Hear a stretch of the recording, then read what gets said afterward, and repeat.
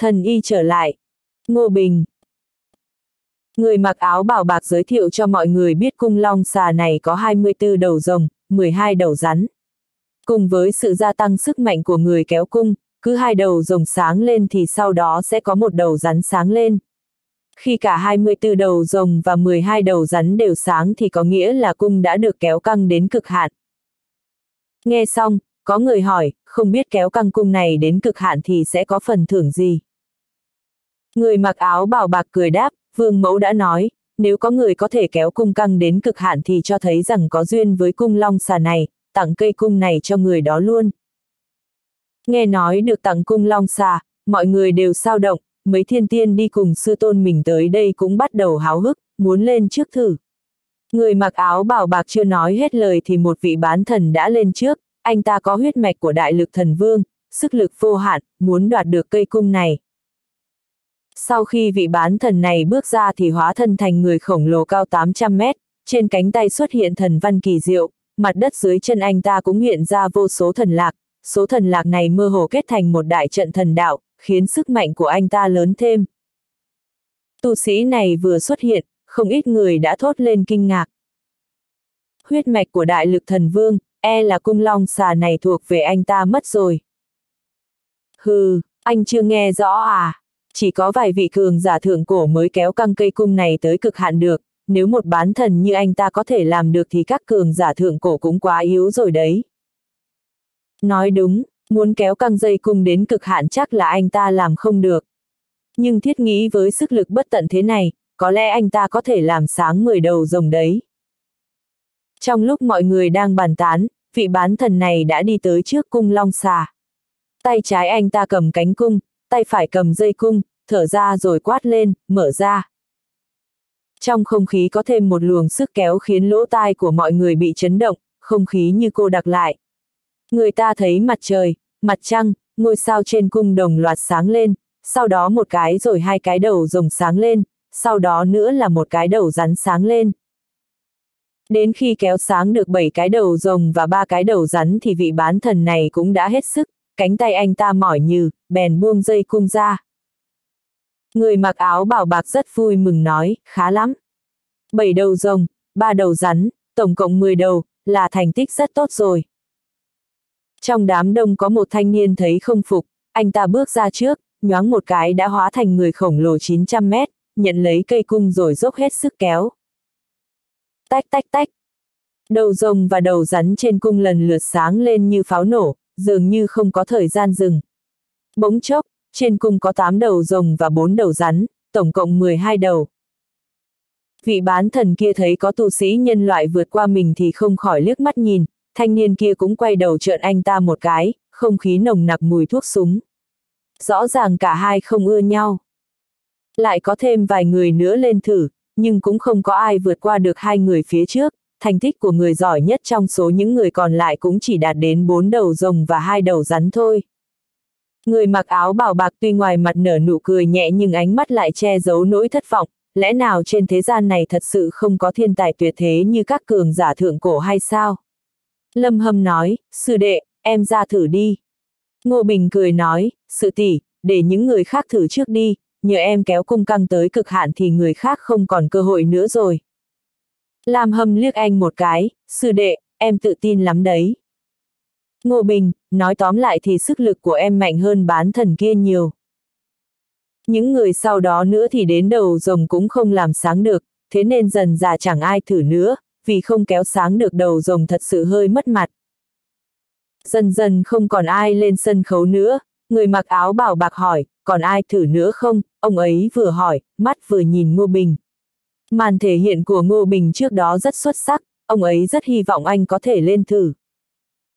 Đáp trả lại ánh mắt của người mặc áo bảo bạc, Ngô Bình khẽ mỉm cười, tôi thử. Anh bước lên sàn đấu, hóa thành người khổng lồ cao 1.000 mét trong nháy mắt, khẽ nhấc cung lên. Tay trái cầm cung, tay phải kéo dây, thở ra một hơi. Vù. Dây cung phát ra một âm thanh trầm thấp, 12 cái đầu rắn có đến 6 cái đã sáng. Nhưng lúc này, Ngộ Bình mới chỉ dùng 3 phần sức lực, anh rót sức mạnh bản nguyên vào thân cung, 6 cái đầu rắn còn lại cũng sáng lên. Nhưng điều kỳ lạ là 24 cái đầu rồng đều không sáng. Nhìn thấy cảnh này, tất cả mọi người đều ngơ ngác. Chuyện gì vậy, không phải nói là hai đầu rồng sáng trước rồi mới sáng một cái đầu rắn à? Thế mà vị cậu lý này lại kéo sáng một lần 12 cái đầu rắn. Ban đầu, Ngô Bình cũng cảm thấy kỳ lạ, nhưng sau đó anh đã biết được nguyên do. Một rồng một rắn trong cung long xà này thật ra đại diện cho âm dương, vừa nãy anh chỉ dùng thể lực thuần túy, chưa dùng sức mạnh của dương thần. Nghĩ vậy, anh kích hoạt sức mạnh dương thần, quả nhiên những đầu rồng này lần lượt sáng lên, 10 cái, 11 cái, 23 cái. Nhưng cái đầu rồng cuối cùng lại mờ mờ ảo ảo, dù Ngô Bình có tăng sức mạnh thế nào nó cũng không thay đổi. Anh khẽ động tâm niệm, thi triển ý nghĩa âm dương, điều hòa âm dương. Sau đó, cái đầu rồng cuối cùng cũng đã bắt đầu sáng lên, trong cung truyền ra tiếng rồng ngâm và tiếng rắn kêu, chấn động chín tầng mây. Tay phải anh thả ra. Tách. Dây cung chấn động, một đạo ánh sáng hình rồng phóng thẳng về phía chân trời. Đạo ánh sáng này cực kỳ khủng khiếp, khiến các đạo quân ngồi ở đây cũng cảm nhận được sự uy hiếp, sắc mặt đều thay đổi. Bầu không khí im phăng phắc, người mặc áo bảo bạc là người hoàn hồn đầu tiên, ông ấy cười lớn tốt. Cậu Lý không phụ sự kỳ vọng của mọi người, đã kéo căng cung long xà đến cực hạn. Theo giao hẹn từ trước, bây giờ cung long xà đã thuộc về cậu rồi. Ngô Bình rất vui, anh cảm nhận được uy lực của cung long xà này cực kỳ mạnh, là bảo vật vô giá, anh bái người mặc áo bảo bạc một cái, rồi bái vương mẫu ở phía xa xăm một cái để tỏ lòng cảm ơn. Sau đó anh cất cung long xà đi, cây cung này cũng biến nhỏ còn hơn một mét theo cơ thể của anh. Trở về chỗ ngồi, tu sĩ xung quanh đều nhìn anh với ánh mắt ngưỡng mộ. Ông lão mặc hoa phục ngồi hàng đầu tiên vuốt râu cười nói, Thanh Vũ, mắt nhìn của con tốt thật đấy. Vậy mà cậu ấy lại kéo được cung do chân hoàng thượng cổ làm ra. Thanh Vũ cười nói, đối với thầy ấy thì cái này không là gì đâu ạ, chút nữa sẽ còn điều bất ngờ hơn nữa. Ông lão xứng người, thằng nhóc này ngoài khỏe ra thì còn biết gì nữa. Thanh Vũ nói, chút nữa ông sẽ biết thôi ạ.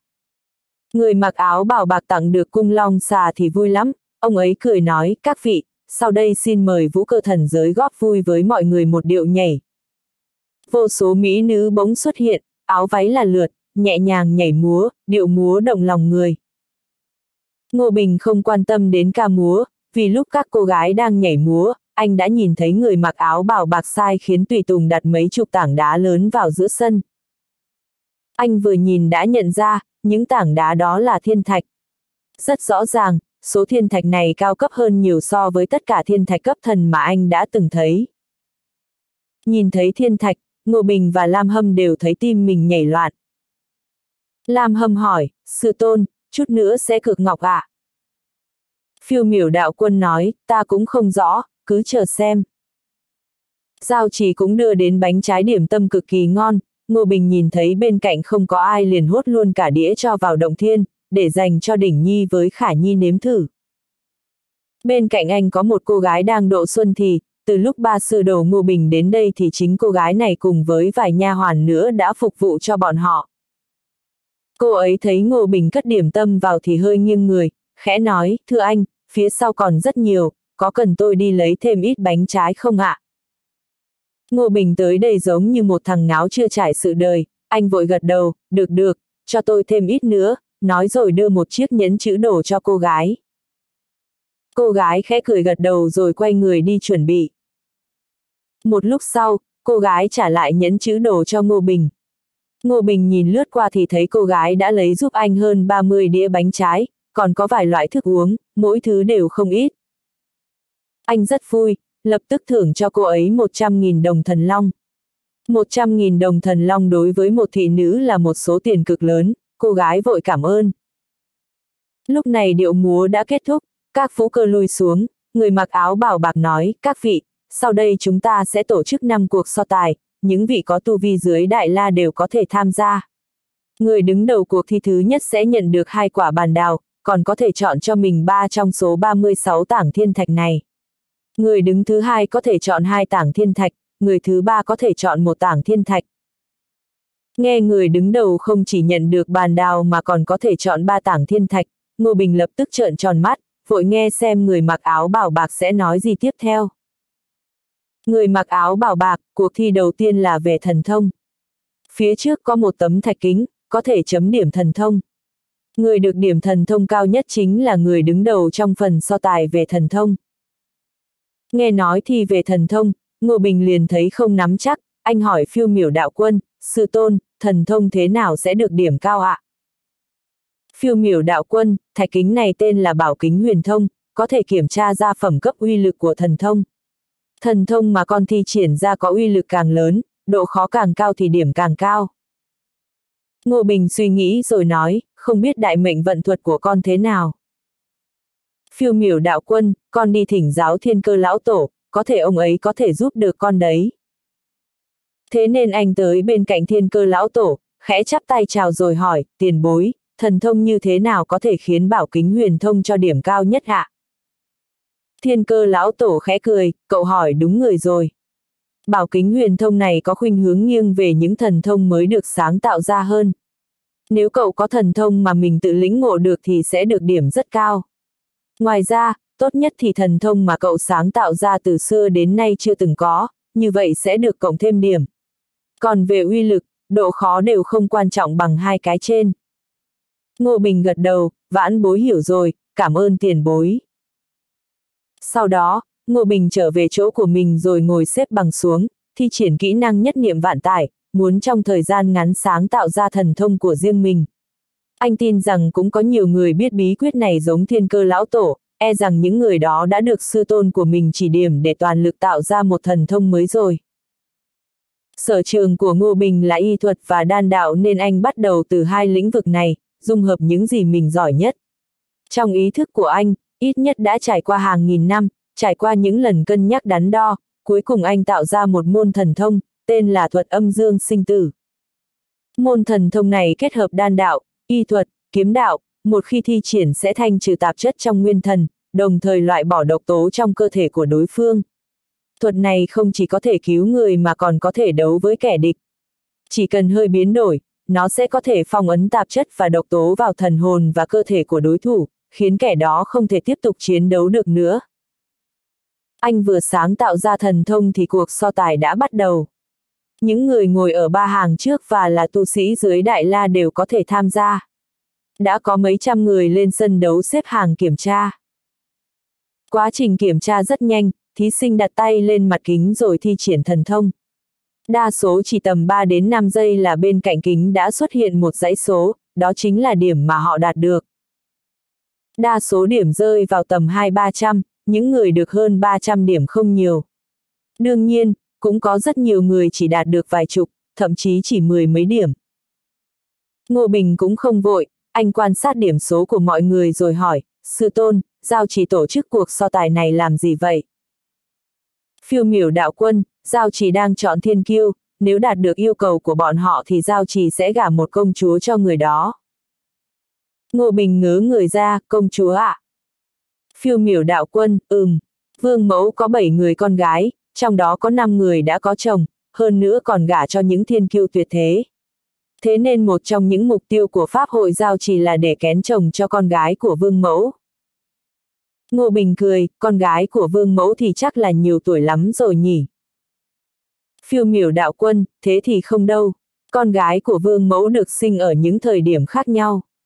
Trước khi ra đời, bảy vị công chúa đều tu hành trong cơ thể mẹ, thế nên ai ai trong số các cô ấy cũng đều có tu vi cao thâm. Giống như thất công chúa này, cô ấy ở trong bụng vương mẫu đến 25 năm mới được sinh ra, tuổi tác cũng gần gần với con. Ngô Bình cũng có nghĩa là nếu con biểu hiện xuất chúng thì rất có thể phải cưới con gái của vương mẫu ạ. À. Phiêu miểu đạo quân, đâu có dễ như vậy, con muốn cưới chưa chắc vương mẫu đã chịu gả. Nhưng nếu con cứ tiếp tục tài giỏi khiến người ta suýt xoa thế này thì tiền đồ rộng mở. Ngô Bình vội nói, con chả mong. Tuy vương mẫu rất lợi hại nhưng anh và con gái của bà ấy không quen biết nhau, hơn nữa anh biết mọi sự đều có nguyên do. Làm không tốt biết đâu thật sự trở thành ở rể, thế chẳng phải thảm lắm sao. Lam hâm, sư đệ, đừng nghĩ nhiều, cứ lấy lợi ích trước mắt đã. Em không động lòng với 36 tảng thiên thạch kia à? Ngô Bình cười. Sự tỷ nói phải. Thấy người lên kiểm tra thần thông càng ngày càng ít, không cần phải xếp hàng nữa thì Ngô Bình mới bước ra. Anh tới trước bảo kính huyền thông, người mặc áo bảo bạc cười nói, cậu Lý có thể bắt đầu rồi. Ngô Bình đặt tay lên mặt kính, thi triển thuật âm dương sinh tử. Phải mất đến 3 phút sau mặt kính mới phát ra ánh sáng kỳ lại bên cạnh xuất hiện một dãy số dài. Lúc mọi người nhìn thấy dãy số này đều kinh ngạc hô lên, 6.700 điểm. Không thể nào, không phải tấm kính này bị hư rồi đấy chứ. Trước Ngô Bình, người cao nhất chỉ đạt tới 520 điểm, điểm của Ngô Bình gấp đến mười mấy lần, thật sự quá khủng khiếp. Có người nói, bảo kính sẽ không sai đâu, điều này cho thấy thần thông của cậu Lý cực kỳ khiếp người. Không biết là môn thần thông thế nào mới có thể đạt được điểm số cao đến vậy. Ngô Bình nhìn thấy điểm số thì khẽ cười, anh xài bước trở về chỗ ngồi. Sau anh còn có một vài người tiến hành kiểm tra, nhưng tất cả đều không vượt qua nổi số lẻ của anh. Lúc người cuối cùng kiểm tra xong, người mặc áo bảo bạc cầm một danh sách, ông ấy nhìn quanh, cười nói, trong cuộc thi thần thông, người đứng đầu là cậu Lý Huyền Bình. Mời cậu lên nhận phần thưởng. Ngô Bình lấy hai quả bàn đào, sau đó tới giữa 36 tảng thiên thạch, chẳng mấy chốc đã chọn được ba tảng. Thu thiên thạch xong, người mặc áo bảo bạc cười nói, cậu Lý, xin hãy giữ ký bàn đào, người có được nhiều bàn đào nhất sẽ có một phần thưởng đặc biệt. Ngô Bình gật đầu, cảm ơn đã nhắc nhở. Sau đó, người mặc áo bảo bạc tuyên bố buổi tiệc tối chính thức bắt đầu. Biểu hiện của Ngô Bình quá xuất chúng, có nhiều người tới chào hỏi anh, muốn kết bạn. Lúc này, một người đàn ông có tròng mắt màu bạc ngồi ở hàng đầu tiên quay lại nhìn Ngô Bình, ông ta hừ lạnh, loài người hèn mọn, không thể để nó tiếp tục nổi trội nữa. Bên cạnh ông ta, một chàng trai tóc tím, mắt bạc đứng dậy nói, bố, con tới khiêu chiến nó, nhân cơ hội giết nó luôn. Nếu không, một khi để nó trưởng thành sẽ rất khó khống chế. Người đàn ông gật đầu, cũng được, con đấu đài sinh tử với nó đi. Cung long xà kia có lai lịch lớn, giết nó rồi đoạt cung long xà. Rõ. Chàng trai sải bước đi về phía Ngô Bình rồi đứng lại trước mặt anh, bình tĩnh nói tôi khiêu chiến anh. Ngô Bình nhìn hắn, trên người kẻ này chảy dòng máu thần, khí tức khá mạnh. Anh thản nhiên hỏi, khiêu chiến tôi cũng được, nhưng phải nói rõ trước, nếu anh thua thì sao? Chàng trai lấy ra hai quả bàn đào, nói thua thì hai quả bàn đào này cho anh. Ngô Bình lắc đầu, không đủ, tôi cũng có bàn đào, nó không thể thuyết phục được tôi. Chàng trai nhíu mày hỏi, anh muốn gì? Ngô Bình, ngoài bàn đào ra, cộng thêm 100 tỷ đồng thần long nữa, anh dám không? Chàng trai thản nhiên nói, được, tôi thua thì sẽ đưa bàn đào và 100 tỷ đồng thần long cho anh. Nhưng nếu anh thua, tôi sẽ lấy hết mọi thứ của anh.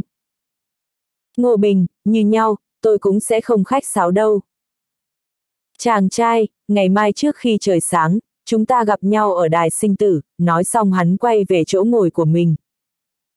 Lam hâm, hắn là bán thần. Sư đệ, đừng xem thường hắn. Ngô Bình, sư tỷ yên tâm, chắc chắn em sẽ đánh bại hắn. Buổi tiệc bắt đầu được hơn nửa canh giờ thì người mặc áo bảo bạc lên trước nói, các vị khách quý, sau đây xin mời vương mẫu giảng pháp. Vương mẫu miệng vàng lời bạc, bắt đầu giảng giải đạo pháp, đến các vị đạo tổ cũng nghiêm túc lắng nghe, đây chính là trọng điểm của pháp hội giao trì, giảng pháp. Ngô Bình chăm chú lắng nghe, thu hoạch được rất nhiều. Vương mẫu giảng pháp xong thì buổi tiệc cũng tàn, mọi người ai về nhà nấy nghỉ ngơi. Trở về núi thần chưa bao lâu thì có một vị đạo quân tới chào hỏi. Phiêu miểu đạo quân mời người đó vào phòng khách, người này tỏ thái độ muốn đặt cược cho Ngô Bình, lần này đến là để xác nhận thực lực của Ngô Bình, từ đó càng chắc chắn hơn với phán đoán của mình. Nghe ông ấy nói vậy, Ngô Bình nói tiền bối, có người đặt cược cho trận đấu giữa bọn tôi sao? Đối phương gật đầu, ừm, rất nhiều người tham gia, tôi thấy lần này phải có đến hàng nghìn tỷ đồng thần long đặt cược cho hai cậu đấy. Ngô Bình trầm tư. Nói chuyện với nhau vài câu thì người này hài lòng rời đi, càng có lòng tin với Ngô Bình hơn. Audio điện tử võ tấn bền. Người này vừa đi lại có người khác tới, mục đích cũng giống người trước, chính là tới xác nhận thực lực của Ngô Bình, xem anh có xứng để họ cược không. Hết người này tới người khác tới, Ngô Bình thấy phiền nên dứt khoát để Lam Hâm đi tiếp khách, còn anh thì ra sau nhà chuyên tâm tu luyện. Tu luyện một lúc, anh lấy ra một phần thiên thạch mình mua từ thành thiên thạch, định xem thử bên trong nó có gì. Tuy anh đã biết từ trước trong thiên thạch có gì nhưng có những thứ chỉ khi tận mắt nhìn thấy mới phát hiện ra được điểm huyền diệu của nó. Anh tìm ra được 32 tảng thiên thạch có điểm chung trong số tất cả thiên thạch. Điểm chung đó chính là bên trong đều phong ấn thần dược. Là một thầy luyện đan, anh rất muốn biết dược liệu ở thiên ngoại sẽ như thế nào.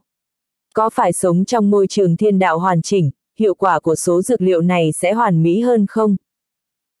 Mở tảng thiên thạch đầu tiên ra, bên trong có một cái cây nhỏ, trên cây có sáu quả be bé trông như bạch ngọc, to bằng quả óc chó.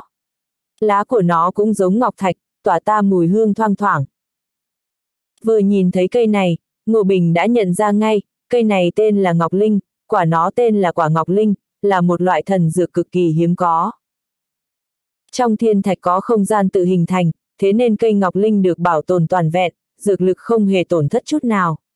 Anh hái một quả Ngọc Linh xuống ăn, nhai nhóp nhép vài cái rồi nuốt xuống bụng, cảm nhận dược tính của quả Ngọc Linh, cảm nhận có gì khác biệt giữa dược liệu ở thiên ngoại và ở khuyên giới hay không. Quả Ngọc Linh xuống bụng, chẳng mấy chốc đã hóa thành mấy chục loại dược lực huyền diệu, lan truyền khắp người anh. Dược lực rất thuần túy, hoàn mỹ, hơn xa tất cả những loại thần dược trước đây anh từng dùng. Hai mắt anh sáng hẳn lên, dược tính thật hoàn mỹ, lẽ nào tất cả dược liệu ở thiên ngoại đều như thế này sao? Anh nhận ra, nếu dùng số dược liệu hoàn mỹ này luyện đan thì có thể anh sẽ luyện ra được đan dược cấp bất tử cao cấp hơn. Đan dược bất tử không những có thể giữ được dược hiệu trong thời gian dài mà hiệu quả của nó còn mạnh mẽ hơn đan dược truyền kỳ rất nhiều. Với thực lực của Ngô Bình bây giờ, anh vẫn chưa thể luyện chế ra đan dược cấp bất tử. Nhưng nếu anh có đủ dược liệu thiên ngoại thì biết đâu có thể thành công. Ngô Bình lại mở tảng thiên thạch thứ hai ra, bên trong là một loại thảo dược năm màu rực rỡ, mỗi một chiếc lá đều có đạo văn ẩn hiện, thần quang lấp lánh. Nhìn thấy dược liệu này, hai mắt Ngô Bình sáng rỡ, thầm lẩm bẩm, ngũ hành la thiên thảo. Thần dược trong truyền thuyết. Ngô Bình mở hết tất cả thiên thạch ra, phát hiện ra sáu loại dược liệu trong đó có thể luyện chế thành một loại đan dược, tên là hóa thiên đan.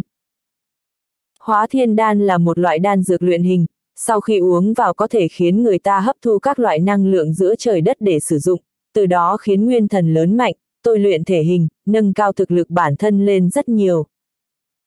Anh lấy lò luyện đan ra bắt đầu luyện đan, luyện hóa thiên đan không hề dễ dàng, anh cẩn thận từng ly từng tí, có thể nói là phải tập trung cao độ, không được lơ là một chút nào. Hơn nửa tiếng sau, lò luyện đan bỗng phun ra một mảng sáng sặc sỡ, anh lập tức dùng hai trưởng chặn lại. Vì là thảo dược sinh trưởng trong môi trường thiên đạo hoàn chỉnh nên khí tức đan dược được tạo ra khi luyện chế chúng nó càng mạnh mẽ hơn, suýt chút nữa là anh đã không khống chế được rồi. Ánh sáng sặc sỡ biến ảo trong lòng bàn tay anh, dần dần ngưng tụ thành một viên đan dược, chính là hóa thiên đan. Lò đan dược đầu tiên chỉ luyện ra được một viên, nhưng phẩm cấp của đan dược cũng rất cao, đạt tới cấp độ truyền kỳ thượng phẩm, chỉ còn một bước nữa là đạt tới cấp độ bất tử. Anh lập tức nuốt viên đan dược, bỗng chốc một tia sáng sặc sỡ xuất hiện trong cơ thể anh, chấn động nguyên thần, tôi luyện thân xác, hiệu quả cực tốt. Anh bỗng nghĩ tới một khả năng, có thể nào thông qua việc dùng đan dược được luyện chế từ dược liệu thiên ngoại sẽ có thể bổ sung được phần thiếu khuyết của đạo tắc không? Trình độ luyện đan của anh rất cao, nghĩ đến đây, anh lập tức vào thiên môn để ngẫm nghĩ, suy xét tính khả dĩ của việc này. Thời gian trôi qua rất nhanh, lúc anh ra khỏi thiên môn thì trời đã hửng sáng. Trời chưa sáng hẳn nhưng trận chiến giữa anh và chàng trai kia sắp bắt đầu rồi. Phiêu miểu đạo quân và Lam Hâm cùng anh tới đài sinh tử, lúc này gần đài sinh tử rất đông đúc. Có người mở cược cho trận chiến giữa Ngô Bình và chàng trai kia. Ngô Bình hỏi Lam Hâm, sư tỷ, đặt cược có quy tắc gì không? Lam Hâm, chị đã hỏi rồi, hai bên đặt cược không giới hạn. Ai thua thì tiền sẽ được chia theo tỷ lệ cho bên thắng. Đương nhiên, ban tổ chức cũng sẽ lấy một phần tiền cược. Ngô Bình, tính đến bây giờ thì có bao nhiêu tiền cược cho em vậy? Lam Hâm, cược cho sư đệ chỉ có 580 tỷ đồng thần long, đặt cược cho đối phương lại hơn 1.700 tỷ đồng thần long. Ngô Bình cười nói, quả nhiên bọn họ đánh giá cao tên bán thần kia hơn. Lam hâm, điều này không có gì lạ, bán thần có huyết mạch của thần, có thể thi triển thần thuật. Ngô Bình lấy ra 600 tỷ đồng thần long, sau đó nói Lam Hâm góp thêm 100 tỷ và phiêu miểu đạo quân góp 200 tỷ, tổng cộng 900 tỷ.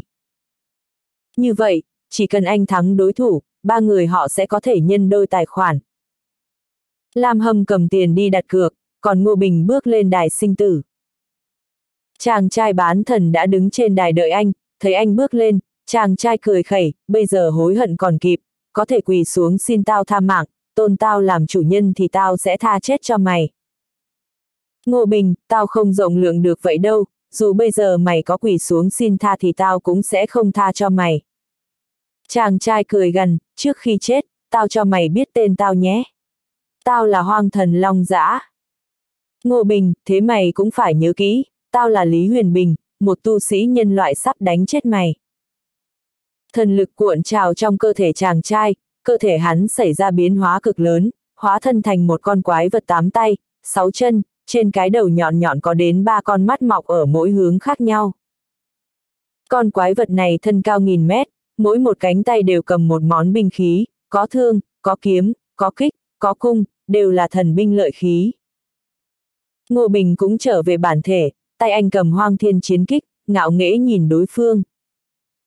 Khí tức của hai người đều rất mạnh, nhưng khí tức của Ngô Bình là khí tức hoàng đạo của nhân loại, còn của chàng trai là khí tức thần linh. Có người nhận ra thần linh này là ai, kinh ngạc hô lên, hoang thần. Cũng có tu sĩ không biết, hỏi, hoang thần là thần gì? Là thần của hoang vắng, hắn có thể nuốt chửng sức sống nên đâu đâu cũng hoang vắng, là một ác thần tước đoạt sinh mệnh. Lần này anh Lý nguy hiểm rồi, thần thuật của đối phương có thể thước đoạt sức sống của anh ấy, trừ phi anh ấy là Đại La Kim Tiên, nếu không tuyệt đối không thể chống lại thần thuật của hoang thần được. Chưa chắc, tôi lại cảm thấy khí thức của anh Lý có uy lực của hoàng đạo, chắc chắn anh ấy là một vị nhân hoàng. Nhân hoàng đấu với bán thần, ai thắng ai thua còn chưa biết. Ngô Bình cầm chiến kích đâm hoang thần long dã, nhận một kích của tôi trước đi. Chiến kích trong tay anh quét ngang, một tia sáng chết chóc tỏa ra phóng về phía hoang thần long dã. Nhưng hoang thần long dã lại đứng yên, tia sáng kia đánh lên người hắn mà hắn không có chút phản ứng nào, cười lạnh tao có sức mạnh hoang thần, có thể tước đoạt tất cả sức sống.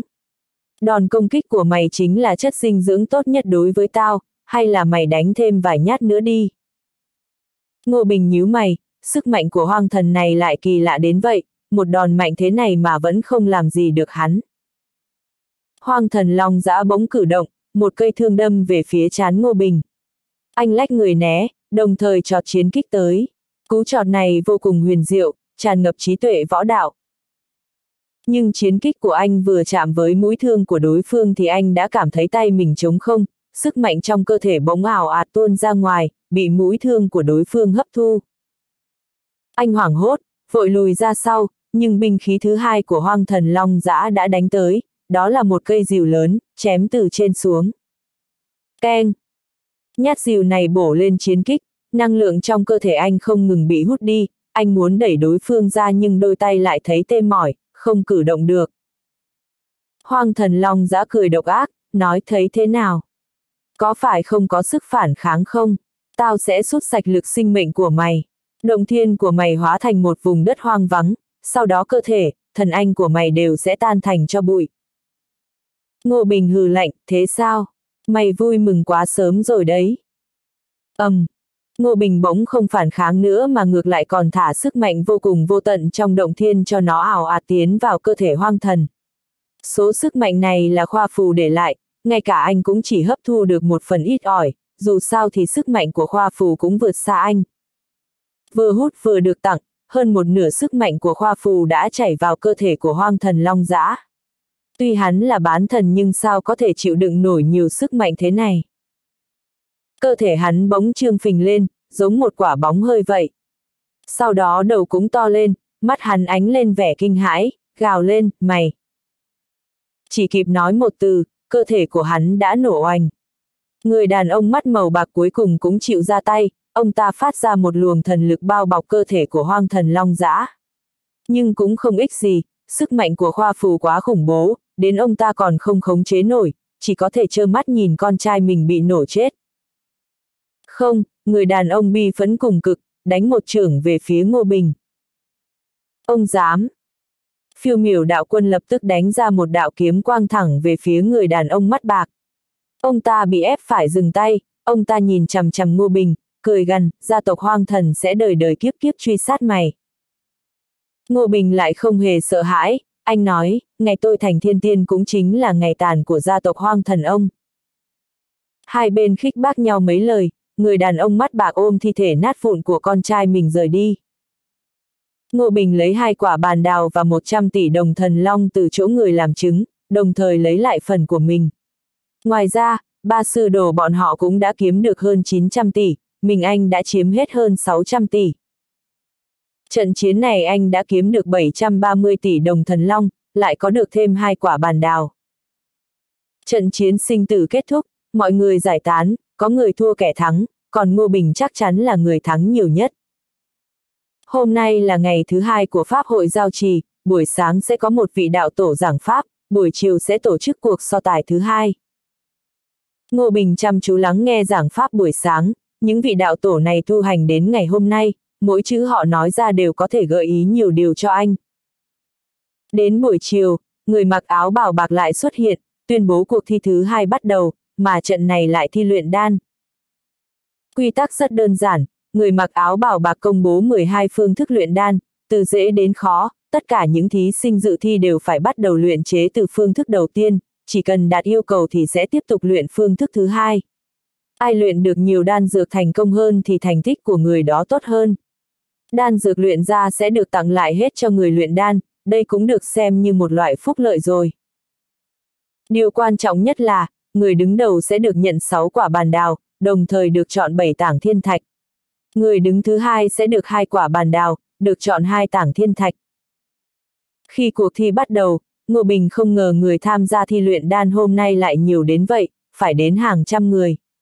Tu vi của những người này đều không thấp hơn anh, bọn họ chuẩn bị luyện phương thức luyện đan thứ nhất.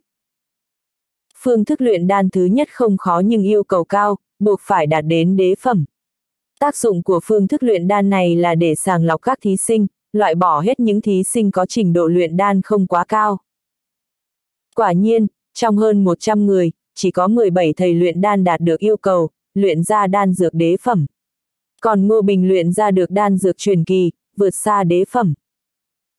Phương thức luyện đan thứ hai càng khó hơn, nhưng yêu cầu không quá cao, chỉ cần luyện ra đan dược vương phẩm là được. Lần này chỉ có 7 người vượt qua, Ngô Bình vẫn luyện ra được đan dược truyền kỳ. Lúc này, anh đã khiến tất cả mọi người chú ý, thầy luyện đan luyện ra được đan dược truyền kỳ rất đáng để mọi người tôn trọng. Cứ như vậy, luyện đến phương thức luyện đan thứ năm thì chỉ còn lại ba thầy luyện đan, một người trong số đó đã bị loại ngay ở phương thức luyện đan thứ năm này, trở thành người đứng thứ ba. Một người khác thì bị loại ở phương thức luyện đan thứ sáu vì đan dược luyện ra không đủ phẩm cấp, trở thành người đứng thứ hai. Chỉ có mình Ngô Bình vẫn tự tốn, phương thức luyện đan thứ sáu anh vẫn luyện ra đan dược truyền kỳ, đồng thời tiếp tục luyện chế phương thức luyện đan thứ bảy. Lúc này, tất cả mọi người đều nín thở, yên lặng nhìn Ngô Bình luyện đan, ánh mắt bọn họ tràn ngập sự tôn kính. Dù ở đâu thì thầy luyện đan cũng luôn được tôn kính, giao chỉ cũng không ngoại lệ. Bây giờ Ngô Bình đã là người đứng đầu rồi, nhưng những đan dược này được luyện ra thì là của mình, sao anh có thể bỏ qua cơ hội này chứ? Thế nên tiếp tục luyện đến phương thức luyện đan thứ 8 và thứ 9. Lúc anh luyện đến phương thức luyện đan thứ 10, anh phát hiện những dược liệu mà giao chỉ cung cấp có một số ít là dược liệu thiên ngoại. Anh thấy sao động, thế nên càng chú tâm hơn, cuối cùng luyện ra đan dược truyền kỳ. Phương thức luyện đan thứ 11 thì cung cấp toàn là dược liệu thiên ngoại, nhưng độ khó cao hơn rồi, tuy lần này anh đã rất cố gắng nhưng chỉ có thể luyện ra được đan dược đế phẩm, chỉ còn một chút nữa là đạt đến truyền kỳ. Phương thức luyện đan thứ 12 là khó nhất, nhưng anh vẫn có thể luyện ra được đan dược phương phẩm.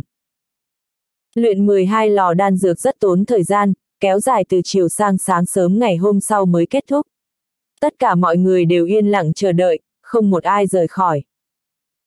Mỗi một lò đan dược được luyện chế đều sẽ có người lên sàn bình phẩm, đánh giá ra phẩm cấp của đan dược. Lúc lò đan dược thứ 12 được luyện thành, bầu không khí bỗng náo nhiệt hẳn, tiếng thản thốt, tiếng khen ngợi không ngừng vang lên. Lợi hại quá, luyện một mạch 12 phương thức luyện đan. Các anh có biết không, 12 phương thức luyện đan này có lịch sử cả đấy, có người nói. Những người xung quanh đều tò mò, vội hỏi, lịch sử gì? Người kia đáp, 12 phương thức luyện đan này đều là bài tập mà Đại Thánh Đan Đạo Thượng Cổ dùng để kiểm tra đệ tử, tên là Thượng Cổ Thập Nhị Thánh Phương. Sử sách ghi chép, ngày xưa đệ tử giỏi nhất của vị Đại Thánh Đan Đạo kia cũng chỉ luyện được 10 phương thức luyện đan thôi. Gì, đây là đề do Đại Thánh Đan Đạo ra à? Nói vậy là anh Lý này còn lợi hại hơn tất cả đệ tử của Đại Thánh Đan Đạo khi xưa. Đúng vậy, trong các đệ tử của vị Đại Thánh Đan Đạo đó, sau này đã có đến ba vị thánh nhân, một vị đại thánh đấy. Quá đỉnh, anh Lý này tuyệt đối là tương lai của nhân loại chúng ta. Không còn nghi ngờ gì nữa, Ngô Bình chính là người đứng đầu, anh lại được thêm 6 quả bàn đào, và chọn thêm 7 tảng thiên thạch nữa. Như vậy anh đã có 10 tảng thiên thạch, lại còn là những tảng thiên thạch có giá trị nhất nữa. Vương Mẫu vẫn luôn xem Ngô Bình luyện đan, lúc Ngô Bình luyện thành lò đan dược thứ 12, bà ấy khẽ cười nói, trẻ như thế này mà kỹ thuật đan đạo đã lên đến tuyệt đỉnh rồi, giỏi lắm. Bà ấy nói với một thị nữ váy đỏ bên cạnh, cô xuống đáy ao lấy roi bách thảo ra đây. Thị nữ gật đầu rồi lặn xuống giao trì. Một lát sau, hai tay cô ấy nâng một cây roi dài cổ quái màu đỏ đi lên. Cây roi này chính là thánh khí năm xưa thần nông dùng để quất bách thảo, roi thần nông bách thảo. Vương mẫu khe gật đầu nói, roi bách thảo này tặng cho Lý Huyền Bình đi. Như vậy cũng coi như tận dụng được nó. Người hầu gái mang cây roi đến chỗ Ngô Bình và nói, Lý Tiên Sinh, đây là thánh vật mà thần nông đã dùng năm xưa. Nay vương mẫu tặng lại cho anh. Nhìn thấy roi bách thảo của thần nông, Ngô Bình vui mừng khôn xiết, vội vàng quay về phía vương mẫu hành lễ tiểu bối đa tạ vương mẫu. Sau khi nhận được roi thần nông bách thảo, anh thích đến nỗi không nỡ bỏ xuống. Ngô Bình cẩn thận nghiên cứu, phát hiện bên trong roi thần nông bách thảo có hàng vạn pháp trận cực nhỏ. Các pháp trận phối hợp chặt chẽ với nhau để phân biệt và chiết xuất ra dược liệu. Khi luyện đan, Ngô Bình có thể trực tiếp sử dụng dược lực được chiết xuất từ roi thần nông bách thảo để luyện đan, hiệu quả tốt hơn nhiều so với trực tiếp trích xuất dược liệu. Càng làm cho anh kinh ngạc hơn chính là, bên trong roi bách thảo chứa đựng một lượng lớn dược lực. Hơn nữa còn là dược lực của các loại dược liệu cực kỳ quý giá. Nhưng nếu muốn sử dụng cây roi này thì phải luyện hóa nó trước. Có điều, đây là bảo vật hiếm có, vì vậy rất khó luyện hóa. Anh cất cây roi đi, sau đó Ngô Bình phát hiện ba thầy trò anh đang bị đám đông vây quanh. Hóa ra những người này đều đến để nhờ anh luyện đan, trong đó có rất nhiều đạo quân. Đương nhiên, những người này sẽ không nhờ anh giúp không công mà ai cũng đưa ra giá cao ngất trời. Gặp nhau đã là duyên phận, cho nên Ngô Bình không từ chối ai. Anh chỉ nói nếu có thời gian sẽ giúp bọn họ luyện đan, chỉ cần những người này cung cấp dược liệu là được. Lam Hâm viết một danh sách, trong đó ghi lại những đan dược mà mọi người muốn mua.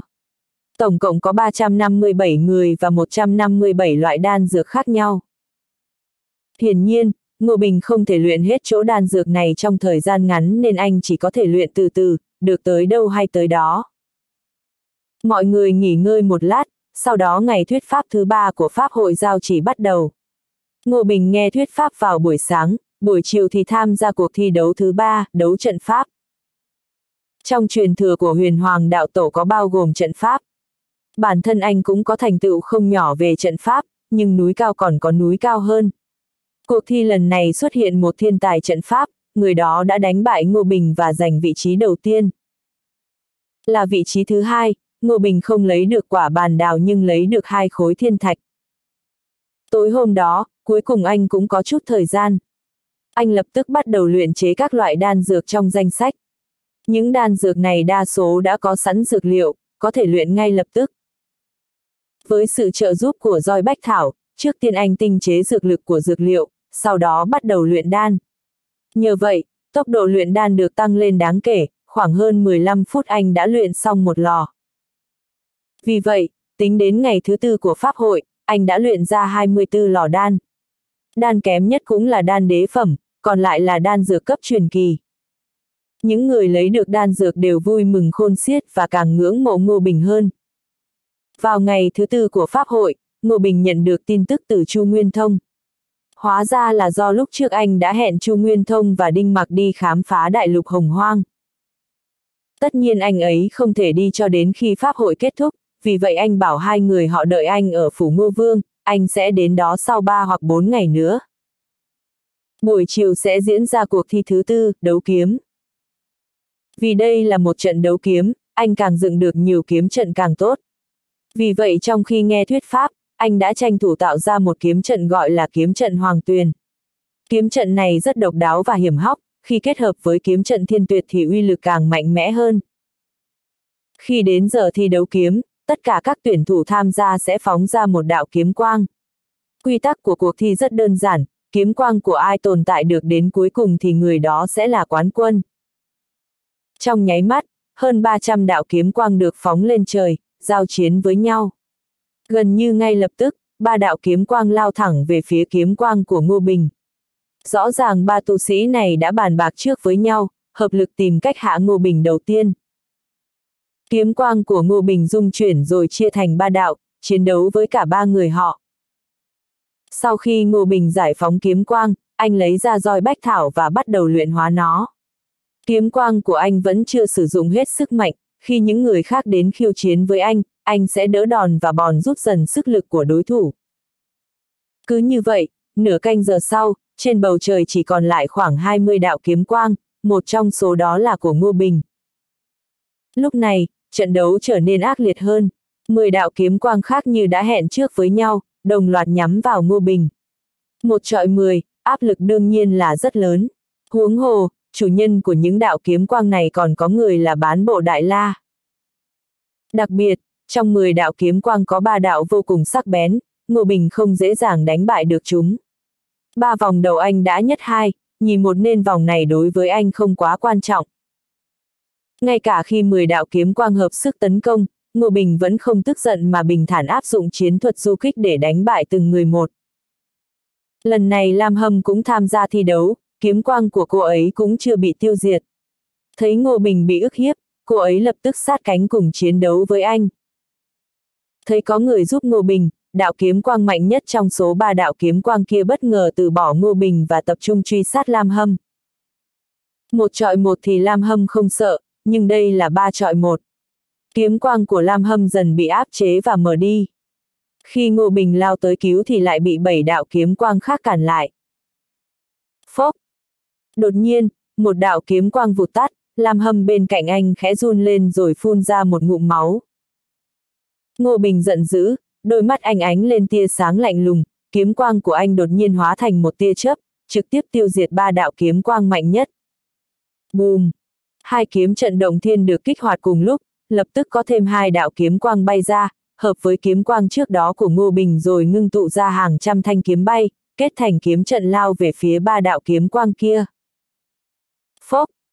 Một trong ba đạo kiếm quang kia vừa tiếp xúc với kiếm trận liền lập tức tàn lụi. Hai kiếm quang còn lại thấy tình thế không ổn, lập tức quay đầu bỏ chạy. Thế nhưng, chúng lại bị kiếm trận của Ngô Bình đuổi kịp rồi tiêu diệt. Ba đạo kiếm quang mạnh nhất không phải là đối thủ của Ngô Bình, vậy thì những người còn lại càng không có cửa. Chỉ một lát sau, những đạo kiếm quang đó cũng bị kiếm quang của Ngô Bình tiêu diệt. Cứ như vậy, trong vòng đấu kiếm thứ tư, Ngô Bình lại dẫn đầu. Lần này, người thắng cuộc được thưởng ba quả bàn đào và bốn viên đá thiên thạch. Cho đến nay, không tính quà tặng của Vương Mẫu, Ngô Bình đã có 10 viên thiên thạch, 12 quả bàn đào. Lam Hâm cười nói, kiếm pháp của em đã vượt xa chị rồi. Ngô bội, lúc đầu em muốn từ từ đánh với bọn chúng, nhưng ba kẻ kia thật vô liêm sỉ nên em đã cố ý cắt đứt kiếm quang của bọn chúng. Ba kẻ này chắc chắn còn bị thương nặng hơn sư tỷ nhiều. Phiêu miểu thiên tôn, huyền bình, ngày mai tỷ thí rất nguy hiểm, con có thể không cần tham gia. Ngô Bình xứng lại, sư phụ, ngày mai sẽ thi đấu cái gì? Phiêu miểu thiên tôn, ngày mai sẽ là một cuộc thi săn bắn, người tham gia sẽ được đưa đến bãi săn ở hoang cổ giới. Ngô Bình đột nhiên nghĩ tới Tô Phi, hẳn là cô ấy đang ở hoang cổ giới. Anh hỏi, sư phụ, hoang cổ giới này lẽ nào cũng thuộc về khuyên giới? Phiêu miểu thiên tôn, hoang cổ giới tương đối đặc biệt, đó là một thế giới được tạo ra bởi các vị thánh hoàng cổ đại, tà đạo không thể xâm nhập vào. Thứ ở trong đó không phải là thiên đạo mà là một trật tự khác. Trật tự này có thể dung nạp thiên đạo, con có thể nghĩ là nó mạnh hơn nhiều so với thiên đạo của chúng ta. Ngô Bình kinh ngạc, còn mạnh hơn cả thiên đạo sao? C1482 Phiêu miểu thiên tôn, con đừng ngạc nhiên như vậy. Vũ trụ lớn đến thế, không gì là không thể xảy ra. Nghe đồn rằng ban đầu là do Thánh Hoàng đã sử dụng một bảo vật từ thế giới khác để mở ra hoang cổ giới. Đây là lý do khiến trật tự và bề ngoài của thế giới này không giống bình thường. Vì vậy, khi con đi đến hoang cổ giới, sức mạnh trong chính cơ thể con cũng sẽ thay đổi. Ngô Bình, sư phụ, vậy tại sao các cao thủ như sư phụ không đi vào hoang cổ giới để tu luyện? Phiêu miểu thi ẻn tôn, hoang cổ giới tự sinh ra thiên ý của chính nó, gọi là hoang. Hoang không cho phép tu sĩ ngoại lai vào đó tu luyện. Chỉ có tu sĩ sinh ra ở hoang cổ giới mới có thể tu luyện ở đó. Bà ấy nói thêm, thực ra việc tới đó tu luyện không hoàn toàn bị cấm, chỉ là tiêu chuẩn mà hoang đặt ra quá cao, không ai có thể đạt được. còn có tư chất tốt như vậy, nhân dịp này con có thể thử xem mình có thể nhận được sự chấp thuận của hoang không. Ngô Bình, sư phụ, ý của người là chỉ cần đáp ứng được yêu cầu do thế giới đó đặt ra là có thể được công nhận và được phép ở lại nơi đó tu hành. Phiêu miểu thiên tôn, ừm, đúng là như vậy. Có điều, con không được nó công nhận cũng không sao. Dù sao thì mục đích chính cho chuyến đi của con là đi săn. Ngày thứ năm cũng là ngày cuối của Pháp hội giao trì. Hôm nay anh không luyện đan nữa mà lấy thiên môn ra và tiến vào đó để tu luyện. Anh đã tu luyện tới tầng thứ bảy của thần lực kinh, nhưng tầng thứ bảy này vẫn chưa được viên mãn. Hiện tại, anh cần phải hoàn thành giai đoạn hóa linh và dục linh để đột phá lên tầng thứ 8. Hóa linh là biến sức mạnh của trời đất và vạn vật thành sức mạnh của mình. Hiện tại, anh vẫn chưa tu luyện viên mãn được giai đoạn này. Ngô Bình quyết định sẽ sử dụng sinh vật trong thiên thạch để hoàn thành giai đoạn hóa linh này. Khi chọn thiên thạch, Ngô Bình đã đặc biệt chọn những khối thiên thạch có thể sinh ra sự sống. Trong hai khối thiên thạch này có động tiên, trong mỗi động tiên lại có một con thú. Hai con thú này rất lợi hại, khi trưởng thành, sức mạnh hẳn là vượt xa đạo tổ, hoặc ít nhất cũng phải là một con mãnh thú đáng sợ cấp truyền kỳ. Bên trong thiên môn, Ngô Bình bắt đầu mở khối thiên thạch đầu tiên. Thiên thạch vừa được mở ra, động tiên bên trong liền sụp đổ, một lá bùa lao ra ngoài định trốn thoát. Ngô Bình vội vàng chộp lấy, nhưng lá bùa lập tức biến thành một con cá, tuột khỏi tay anh. Ngô Bình sửng sốt, nhanh chóng lấy tấm lưới ra để bắt cá. Nhưng con cá lại biến thành làn khói nhẹ, tản ra khỏi lưới và bay lên không trung. Ngô Bình không còn cách nào đành há miệng hít làn khói nhẹ vào phổi và áp chế nó bằng kiếm khí. Làn khói nhẹ này không thể đoán trước và rất khó đối phó, hơn nữa nó còn là một sinh vật sống có khả năng thay đổi. Ngô Bình phải dùng hết mọi cách, cuối cùng mới phong ấn được nó trong động tiên của mình để sau này luyện hóa. Trong quá trình luyện hóa, Ngô Bình có một số phát hiện mới. Sinh vật này tên là Nguyên Cơ, là một sinh vật mạnh mẽ đến từ thế giới tầng cao và rất giỏi biến hóa. Chỉ cần luyện hóa được nó, Ngô Bình sẽ có năng lực biến hóa của Nguyên Cơ.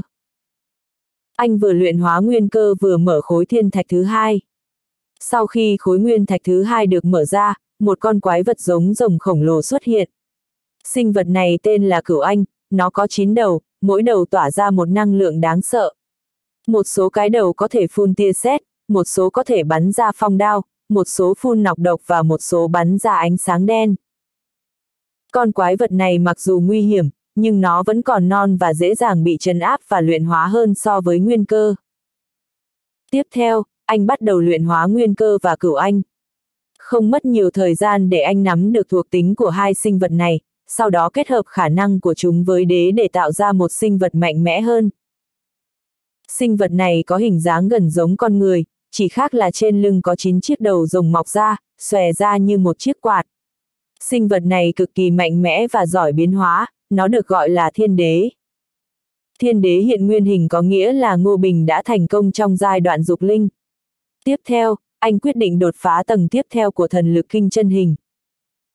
Chân hình chính là biến thần lực trong cơ thể thành một hình ảnh cụ thể, mà hình ảnh này chính là thiên đế. Chân hình thiên đế này sẽ bao bọc lấy dương thần. Dương thần sẽ trở thành bộ não của chân hình, ngược lại chân hình sẽ là pháp thân của dương thần. Trên thực tế, sau cảnh giới long môn, anh đã có thể ngưng tụ pháp thân của mình, nhưng lúc đó anh cảm thấy rằng pháp lực của mình không đủ mạnh. Hiện tại ngưng tụ được chân hình rồi dùng nó làm pháp thân thì sẽ tốt hơn nhiều. Không rõ đã mất bao lâu, nhưng sau đó chân hình của Ngô Bình đã được ngưng tụ thành công. Chân hình này là một người đàn ông cao lớn và mạnh mẽ, cao 3.000 mét, với sức mạnh vô hạn và ngọn lửa màu tím phát ra từ đôi mắt. Đằng sau chân hình này có 9 đầu rồng khổng lồ, mỗi cái có một khả năng đặc biệt. Khi chân hình xuất hiện, Dương Thần đã nhập vào đó và kết hợp sức mạnh của nó với chân hình, khiến chân hình thiên đế thậm chí còn mạnh hơn. Một số loại thần thông và pháp thuật của Ngô Bình có thể được kích hoạt thông qua đầu rồng. Thậm chí, thân thể của anh còn có thể ẩn giấu trong chân hình để kết hợp cùng Dương Thần điều khiển chân hình. Lúc này Ngô Bình thấy vẫn còn sớm, anh liền tiếp tục đột phá thần lực kinh tầng thứ 9. Thần lực của thần lực kinh tầng 9 có thể bất tuân quy luật của trời đất, thậm chí tạo ra quy luật mới. Sức mạnh như vậy đương nhiên là rất kinh khủng, có thể làm trái cả ý trời. Ngô Bình thử đột phá tầng 9 nhưng ở ải cuối cùng thì vẫn còn thiếu một chút. Lúc này cũng sắp hết thời gian, Ngô Bình đành tạm dừng ở đó. Có điều anh đã rất hài lòng rồi, giờ anh đã có chân hình thiên đế, dương thần của anh nhờ đó sẽ có lực chiến kinh người. Sau này khi chiến đấu, anh cũng có thể trực tiếp phóng thích chân hình. Ra khỏi thiên môn không lâu, ba sư đồ Ngô Bình đã đi tới hội trường. Hôm nay không có thuyết pháp mà vòng thi thứ năm sẽ bắt đầu luôn. Người mặc áo choàng xám tuyên bố cuộc thi hôm nay sẽ là đi săn ở hoang cổ giới. Người tham gia sẽ đi vào hoang cổ giới, tìm và săn những con ác thú trong danh sách. Những con thú này có độ nguy hiểm từ thấp đến cao, con ác thú cuối cùng đến Đại La Đạo Quân cũng khó mà giết được, như vậy có thể biết thử thách này có độ khó cao thế nào. Sau cùng, tu sĩ săn được nhiều con thú trong danh sách nhất sẽ giành chiến thắng. Người thắng vòng này sẽ được thưởng 10 quả bàn đào và 5 triệu đồng tiền đạo. Tiền đạo là loại tiền tệ do đạo tổ tạo ra, bên trong có những pháp trận phức tạp. Chỉ cần đọc chú là có thể biến những đồng tiền này thành đạo binh để chiến đấu với quân địch. Khi bày pháp trận, tiền đạo cũng là nguồn năng lượng tốt nhất. Thậm chí, một số con rối mạnh cũng có thể được khởi động bằng tiền đạo. Khi gặp nguy hiểm thì có thể dùng loại tiền này tạo ra cả một đội quân để giết địch. Cho nên, loại tiền này còn quý giá hơn cả đồng thần long. Hơn nữa, giữa tiền đạo và đồng thần long không hề có tỷ giá chuyển đổi cố định. Tỷ giá này sẽ dao động tùy theo hoàn cảnh khác nhau. Có tu sĩ đòi 100.000 đồng thần long đổi lấy một đồng tiền đạo. Có tu sĩ còn hét giá tới 500.000 đồng thần long đổi lấy một đồng tiền đạo. Nghe nói phần thưởng lên tới 5 triệu đồng tiền đạo, Ngô Bình lập tức hừng hực quyết tâm. Cuộc thi bắt đầu, người mặc áo choàng bạc biến ra một cánh cửa màu vàng, các tuyển thủ lần lượt đi qua cánh cửa đó. Vì giải thưởng quá lớn nên số người tham gia lên tới hơn 500. Trong đó có thần, có yêu, có bán thần, cũng có cả các tu sĩ loài người. Rất nhiều anh tài lúc trước chưa tham gia cuộc thi giờ cũng đột nhiên xuất hiện. Chưa tới 15 phút sau, đoàn người tham gia đột nhiên cảm thấy dưới chân mình là một khoảng không. Họ đang lơ lửng trên không trung, sau đó một lực kinh hoàng hút họ xuống mặt đất. Hơn nữa, trên không trung có những luồng đối lưu hỗn loạn, nó nhanh chóng tách đoàn người ra tứ phía. Họ đang ở vị trí rất cao, bên dưới là mặt đất rộng lớn tựa như vô bờ bến. Không khí ở đây còn nặng nề hơn cả ở đại lục hồng hoang. Nhiều địa tiên vào đến đây còn không bay nổi. Cho dù có là thiên tiên thì khả năng bay lượn ở đây cũng bị hạn chế đáng kể không thể bay lên quá cao. Ví dụ như hiện tại, có rất nhiều người đang rơi tự do và không thể nào kiểm soát được tốc độ rơi của mình. Ngô Bình là người đầu tiên phản ứng lại, anh thả chân hình ra, hóa thành một con đại bàng lớn, sải cánh bay lên. Đây chính là khả năng biến hóa của chân hình thiên đế, có thể hóa thành vạn vật. Con chim lớn ngừng rơi, nó bay về phía xa và đáp xuống bờ một cái hồ lớn. Lúc này, anh nhìn thấy một nữ tu sĩ đang kêu lên thảm thiết, cô ấy đang xoay vòng trên không với tốc độ đáng sợ và rơi xuống phía dưới. Bên dưới đó đầy đá nhọn, một khi ngã xuống đây thì sẽ chảy máu đầu. Đại bàng xải rộng cánh, bay về phía cô gái rồi dùng móng vuốt sắc nhọn tóm lấy cô gái. Sau đó, nó từ từ hạ cánh xuống bờ hồ. Vừa chạm đất, chim đại bàng khôi phục nguyên hình là Ngô Bình. Cô gái vẫn sợ đến thất thần, nhưng sau đó vội vã cúi gập người cảm ơn, đa tạ ơn cứu mạng của Lý Tiên Sinh. Ngô Bình là ngôi sao sáng của Pháp hội lần này nên nữ tu sĩ này biết anh cũng là điều dễ hiểu. Tu sĩ này rất xinh đẹp, thân hình mảnh khảnh, mặc một chiếc váy dài màu trắng, giọng nói dịu dàng dễ nghe. Ngô Bình, cô nương không cần khách sáo. Anh vừa nói dứt lời thì có một nam tu sĩ từ trên cao đáp xuống, rơi mạnh xuống bãi cát bên cạnh. Đất ở đây khá mềm nhưng cú rơi đó vẫn khiến anh ta hoa mắt chóng mặt đến nỗi nửa ngày không ngồi dậy được. Ngô Bình hỏi, anh không sao chứ? Nam tu sĩ khổ sở một lúc mới đứng dậy được. Anh ta đứng dậy, nhìn thấy nữ tu sĩ kia thì mừng rỡ hỏi, sư muội không sao chứ? Nữ tu sĩ gật đầu, sư huynh, nhờ có anh ấy giúp đỡ mà em mới an toàn, nếu không thì đã ngã rất thảm rồi. Nam tu sĩ kia chừng mắt nhìn Ngô Bình bằng ánh mắt đầy thù địch, hỏi anh không tranh thủ mà lợi dụng sư muội tôi đấy chứ? Ngô Bình bình thản đáp, lợi dụng thì sao mà không lợi dụng thì sao? Nam tu sĩ cười lạnh, dám động vào sư muội tôi, tôi tuyệt đối không tha cho anh. Đối với loại người này, Ngô Bình chẳng thèm đôi co. Anh bắt đầu cảm nhận thế giới này. Ngô Bình phát hiện ra trật tự của hoang cổ giới quả thực hoàn toàn khác thế giới bên ngoài khiến những người vừa tới không thể thích nghi, đến bay cũng không bay được. Sau cùng, ai nấy đều ngã rất đau. Không chỉ có vật, trọng lực ở đây cũng mạnh hơn, khí áp lớn hơn, những sinh vật nhỏ không thể tồn tại. Ngô Bình thử luân chuyển pháp lực, nhưng nó hoàn toàn không nghe lời anh. Cho nên, anh bắt đầu điều chỉnh chân hình để thích nghi với môi trường mới. Nam tu sĩ kia kéo cô gái ngồi sang bên cạnh, thì thầm gì đó. Đột nhiên, Ngô Bình giật mình, một mũi tên độc từ sau lưng anh bay tới trúng lưng anh. Đồng thời, anh nghe thấy tiếng nữ tu sĩ ban nãy kinh hãi kêu lên, sư huynh, không được. Nếu không phải do chân hình của anh rất mạnh thì mũi tên độc này cũng đủ để hạ gục anh. Mũi tên độc bắn ra khỏi chân hình của anh, anh quay lưng lại nhìn nam tu sĩ kia. Trong mắt hắn ta toàn là sát khí. Thấy mũi tên đầu không hạ được anh, hắn lại bắn thêm một mũi tên nữa. Tang tang. Lần này, mũi tên bắn ngay ra ngoài. Gã tu sĩ mặt xa sầm lại, tên độc không giết được Ngô Bình sao? Ngô Bình đứng dậy, lạnh lùng hỏi, tôi và anh không thù không oán, tại sao lại muốn hại tôi? Gã tu sĩ đáp, anh tài giỏi như vậy, nhưng đáng tiếc là chẳng làm được gì ở nơi này. Mọi người đều không có pháp lực, anh cũng chẳng mạnh hơn tôi. Chỉ cần giết anh là tôi có thể cướp được toàn bộ thiên thạch và quả bàn đào của anh. Hóa ra là quân ăn cướp, Ngô Bình cười lạnh, muốn cướp thì phải có bản lĩnh mới được. Nói rồi, anh dậm mạnh chân xuống đất, một mũi tên độc ở dưới đất như mọc thêm mắt, bay như điện xẹt về phía gã tu sĩ.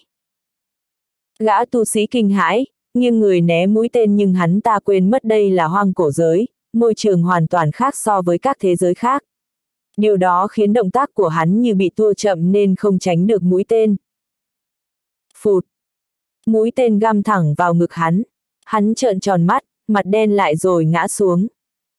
Nữ tu sĩ kia đứng hình, chân chối nhìn sư huynh đồng môn của mình rồi bất giác lùi về sau mấy bước. Ban nãy cô ấy đã ngăn sư huynh mình nhưng không kịp. Cô ấy vô cùng áy náy, vội vã xin lỗi, Lý Tiên Sinh, xin lỗi, tôi không ngờ anh ấy lại làm như vậy.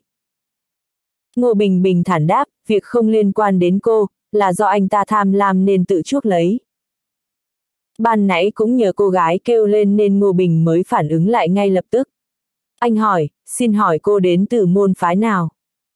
Nữ tu sĩ vội đáp, tiểu muội tên Khương Nguyệt Như, là đệ tử tinh anh của âm dương giáo. Người ban nãy là sư huynh của tôi, tên là Dương Đỉnh, cũng là đệ tử tinh anh. Có tư cách tham dự pháp hội này đều không phải dạng vừa, cho nên cô gái này là đệ tử tinh anh cũng không có gì kỳ lạ. Ngô Bình, cô Khương, vậy chúng ta từ biệt nhau ở đây nhé, dứt lời anh lướt đi trên mặt nước. Khương Nguyệt như định gọi anh lại nhưng rồi lại không thốt lên lời, chỉ đành thở dài một cái. Thực ra Ngô Bình rời đi cũng là vì không muốn liên lụy đến cô ấy. Giờ anh là cái đinh trong mắt rất nhiều người, lũ bán thần, bán yêu đó mắt đầy sát khí, nói không chừng sẽ nhân cơ hội ra tay với anh. Anh bỏ lại Khương Nguyệt như cũng vì muốn tốt cho cô. Lướt đi trên nước một đoạn, trên mặt nước xuất hiện những xoáy nước. Đột nhiên, một con cá lớn trông hơi giống rắn lao tới định nuốt chừng anh. Thế nhưng, con cá mới định lao tới cắn vào chân anh thì lại không thể di chuyển được nữa. Hơn nữa, răng nó còn tự nhiên rụng mất mấy cái.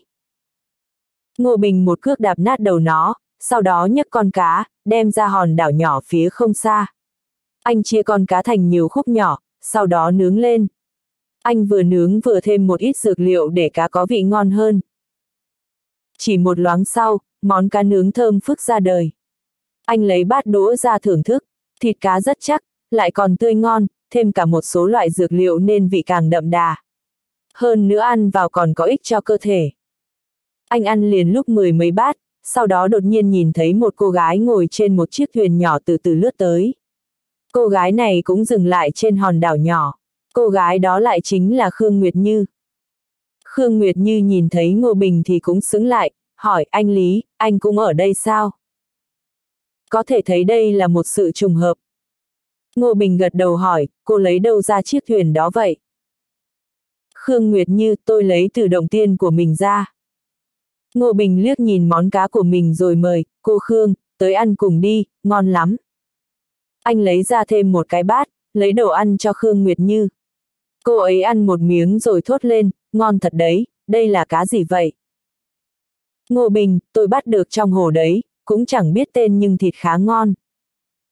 Khương Nguyệt như thoáng cái đã ăn sạch bát cá, Ngô Bình lại lấy ra một cái bàn nhỏ rồi pha trà. Khương Nguyệt như vô cùng tò mò về Ngô Bình. Cô hỏi, anh Lý, hình như anh không có hứng thú với những con thú trong danh sách lắm thì phải. Ngô Bình đáp, hoang cổ giới lớn như vậy, chúng ta lại chẳng biết gì về nơi này. Nếu tùy tiện đi lung tung thì chẳng thà cứ coi chuyến đi săn này là một cuộc dạo chơi, thưởng thức cảnh đẹp của nơi này trước đã. Khương Nguyệt Như không thể hiểu nổi cách suy nghĩ của Ngô Bình nhưng vẫn mỉm cười đáp, cách suy nghĩ thú vị lắm. Trong lúc uống trà, hai người trò chuyện vài câu. Sau đó, Ngô Bình ngồi xuống, chăm chú nghiên cứu trật tự của hoang cổ giới. Chân hình không ngừng biến đổi, sau cùng, anh mới dần hiểu được về nơi này. Trước đó, anh cố gắng đột phá tầng 9 của thần lực kinh nhưng không được, cứ cảm thấy vẫn thiếu gì đó. Bây giờ, anh đã hiểu ra thứ mình thiếu là gì, anh cần một môi trường hoàn toàn mới với cách vận hành pháp thuật hoàn toàn khác biệt, sau đó dần dần gọt rũa, cải tiến chân hình của mình. Nhờ đó mà tu luyện sức mạnh nghịch thiên. Ngô Bình có nền tảng là thần lực kinh cấp 8, lại thêm tư chất rất tốt nên quá trình tu luyện chân hình của anh khá thuận lợi. Đến hôm sau, anh đã có thể dùng chân hình hút lấy lực của thiên địa trong hoang cổ giới để phục vụ cho mình. Đến trưa, anh cảm thấy cơ thể rất thoải mái, áp lực ban đầu khi bước vào hoang cổ giới đã biến mất. Hiện giờ anh như cá gặp nước, như chim trên trời, cơ thể vô cùng thoải mái. Thiên địa pháp tắc đi vào cơ thể anh rồi bị anh thay đổi. Đồng thời, thiên địa pháp tắc của nơi này cũng đang thay đổi anh. Khương Nguyệt như đứng ở phía xa kinh ngạc quan sát sự thay đổi trên cơ thể Ngô Bình. Ngô Bình lúc này như đã hòa làm một với trời đất, pháp lực hùng mạnh chảy vào cơ thể anh. Ngô Bình lúc này chẳng khác nào tu sĩ bản địa của hoang cổ giới. Đột nhiên, một đạo sấm sét từ trên trời giáng xuống người Ngô Bình. Sau đó một giọng nói vang lên trong đầu anh, cậu đã đủ điều kiện tham gia bài sát hạch, có muốn tham gia không? Ngô Bình nhớ lại khi phiêu miểu thiên tôn giới thiệu về hoang cổ giới với anh. Anh hỏi, ngươi là thiên ý của hoang cổ giới. Đối phương, đúng vậy, cậu có thể gọi ta là hoang. Ngô Bình, nội dung khảo hạch là gì? Tốn bao nhiêu thời gian? Hoang đáp, rất nhanh thôi, chính là kiểm tra tư chất, khí vận, trí tuệ. Đó là một bài kiểm tra đánh giá tổng hợp xem cậu có đủ tư cách trở thành thánh tử của hoang cổ giới hay không. Ngô Bình, trở thành thánh tử là có thể ở lại đây tu luyện sao? Không chỉ có tu luyện mà còn có thể nhận nhiệm vụ. Mỗi khi hoàn thành nhiệm vụ thì sẽ nhận được phần thưởng thích đáng. Đợi khi đã hoàn thành tất cả nhiệm vụ thì có thể luyện hóa thiên ý. Ngô Bình giật bắn mình, luyện hóa thiên ý. Vậy chẳng phải ta sẽ trở thành chủ nhân hoang cổ giới sao? Hoang đáp, đúng vậy. Ngô Bình suy nghĩ một lát rồi đáp, ta chấp nhận bài kiểm tra. Hoang, khi tham gia có thể sẽ gặp nguy hiểm đến tính mạng, nếu thể chất không đạt yêu cầu thì có thể sẽ mất mạng. Ngô Bình hỏi, trước đó có nhiều người tham gia bài kiểm tra này không? Có bao nhiêu người thông qua và bao nhiêu người mất mạng? Hoang, tổng cộng hơn 1.000 người tham gia nhưng chỉ 15 người vượt qua. Trong quá trình khảo sát, có 309 người mất mạng. Nghe thấy có một phần ba khả năng mất mạng, Ngô Bình thấy hơi lạnh gáy, có điều anh không muốn bỏ qua cơ hội này. Anh nghĩ ngợi một lát rồi nghiến răng đáp, bắt đầu đi.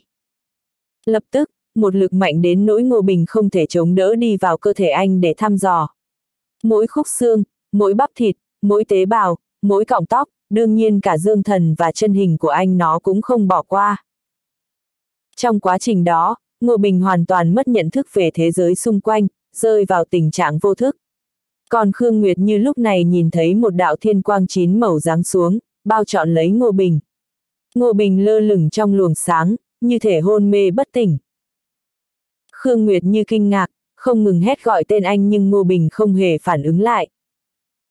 Khoảng hơn nửa tiếng sau, cột sáng kia đột nhiên biến mất, cơ thể Ngô Bình từ từ đáp xuống đất. Anh vẫn còn hôn mê, không động đậy. Khương Nguyệt như vội vã bước tới định đánh thức anh, có điều cô làm cách nào cũng không khiến anh tỉnh lại. Cũng may, cơ thể anh không bị thương, chỉ như đang hôn mê. Cô không còn cách nào đành cho anh gối lên đùi mình rồi kiên nhẫn chờ anh tỉnh lại. Cứ như vậy đến tận khi trời tối, trăng đã lên, những ngôi sao lấp lánh trên bầu trời và côn trùng kêu giả dích khắp nơi. Tỉnh dậy, trong tiềm thức Ngô Bình có một giọng nói. Anh hồi phục ý thức, sau đó nhìn thấy một luồng sáng, giọng nói kia phát ra từ trong luồng sáng. Ngươi là hoang sao, anh hỏi. Luồng sáng trả lời, là ta. Lý Huyền Bình, cuộc khảo sát đã kết thúc, cậu đã vượt qua. Từ giờ trở đi, cậu chính là thánh tử của hoang cổ giới. Ngô Bình, làm trước đó có sơ múi được gì không? Hoang, có thể tu luyện như các tu sĩ bản địa. Hơn nữa, cậu còn là một trong những người có thân phận cao quý nhất ở giới này. Cho dù các tu sĩ mạnh của hoang cổ giới nhìn thấy cũng phải thần phục cậu. Nếu hoang cổ giới có kẻ dám hãm hại thánh tử thì sẽ bị ta trừng phạt. Ngô Bình mắt sáng như sao đáp, được lắm. Ta có một người bạn ở hoang cổ giới, có thể giúp ta tìm cô ấy không? Người anh đang nói tới đương nhiên là Tô Phi.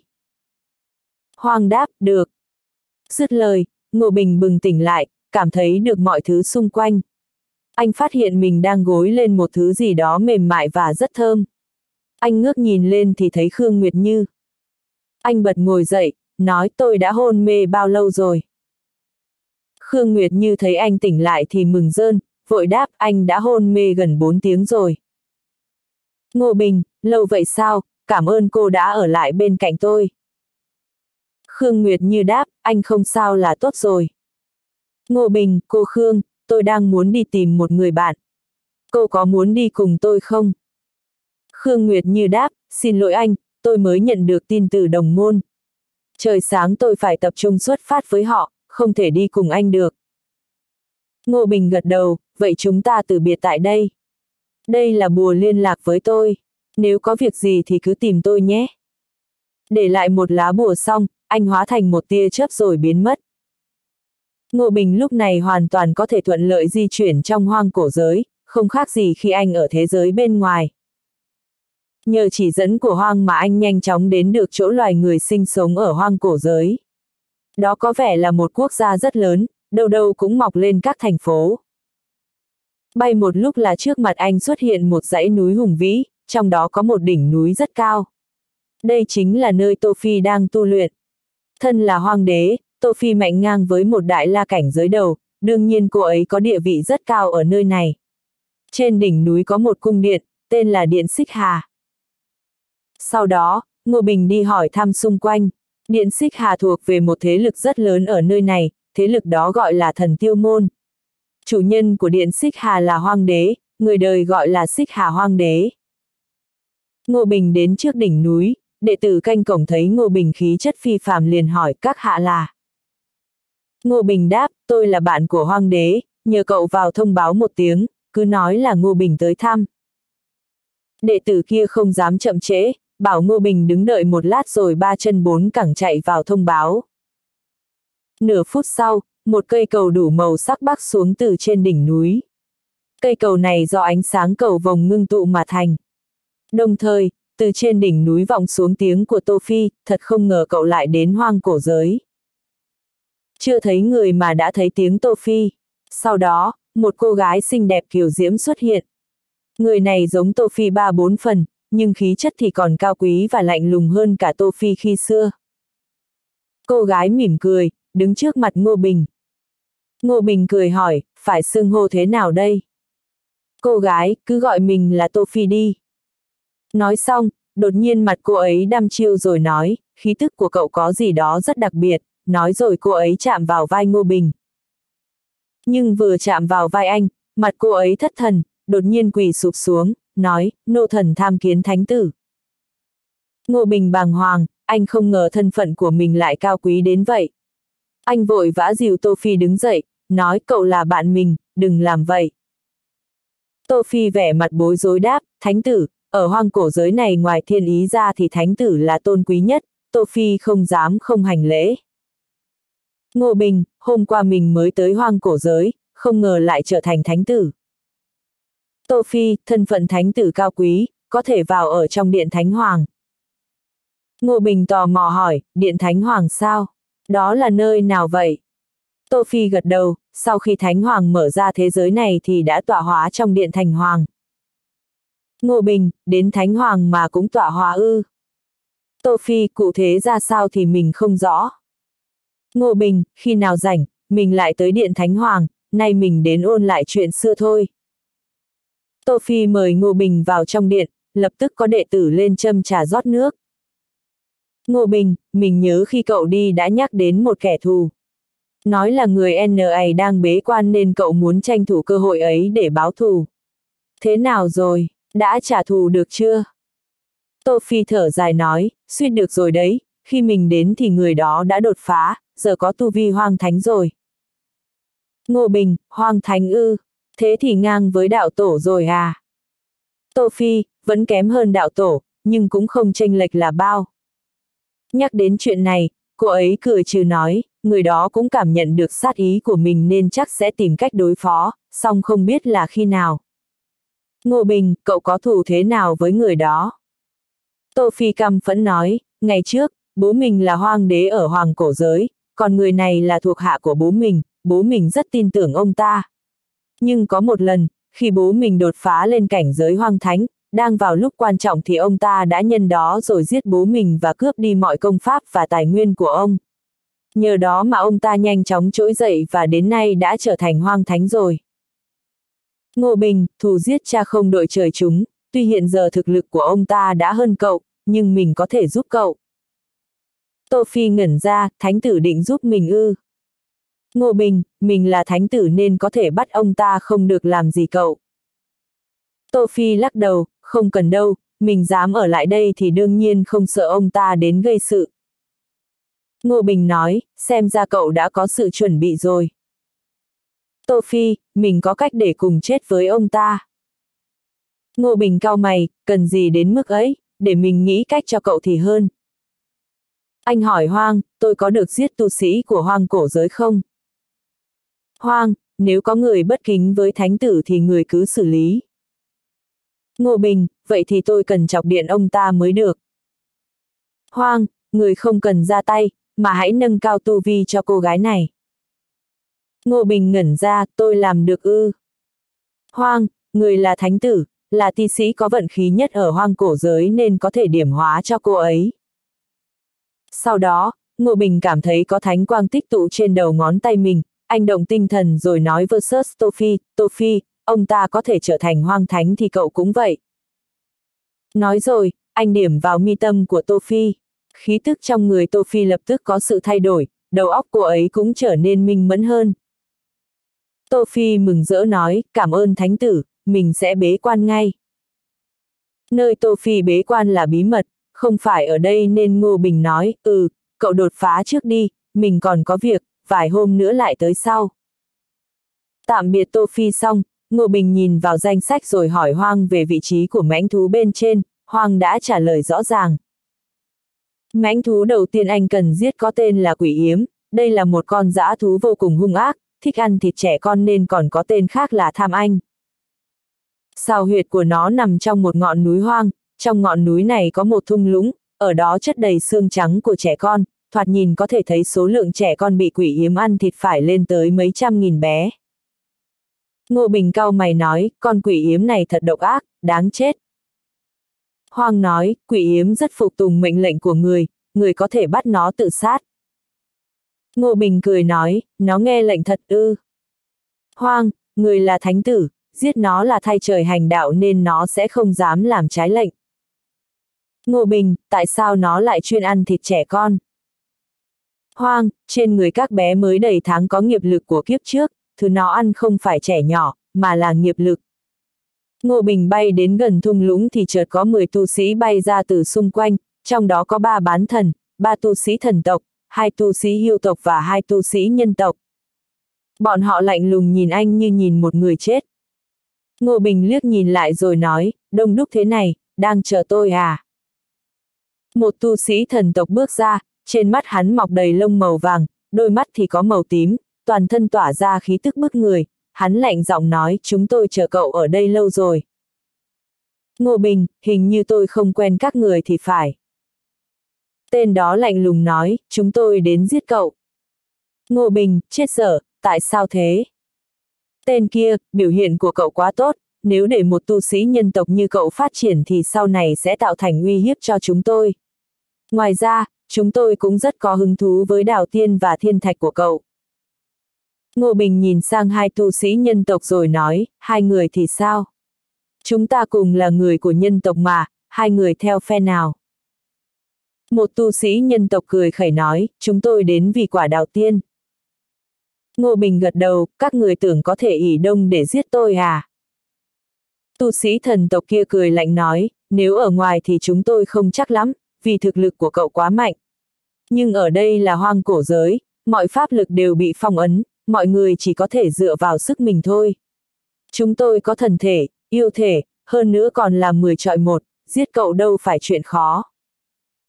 Ngô Bình thở dài nói, tôi khuyên các người nên nhanh chóng rời khỏi đây, tôi không muốn giết người.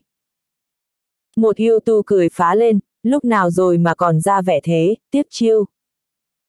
Yêu tu đó chợt hóa thành một con báo dài cả trăm mét rồi bổ nhào tới. Ngay khi nó ra tay thì đã có một bàn tay thò từ trong chân hình của Ngô Bình ra để đập vào đầu nó. Giác!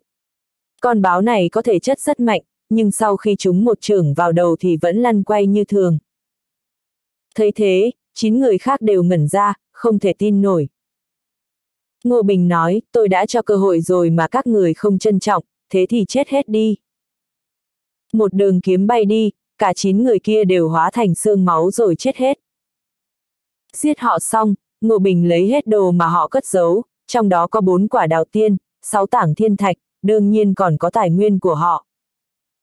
Cất đồ đi xong, anh bay vào một cửa hang động rồi đáp xuống, một con quái thú mọc đầy lông đen dài hơn chục mét xông ra. Nó rất hung hăng, vừa nhìn thấy Ngô Bình đã lao vào ngay. Nhưng ngay sau đó, nó đã nằm phục xuống đất rồi run lẩy bẩy.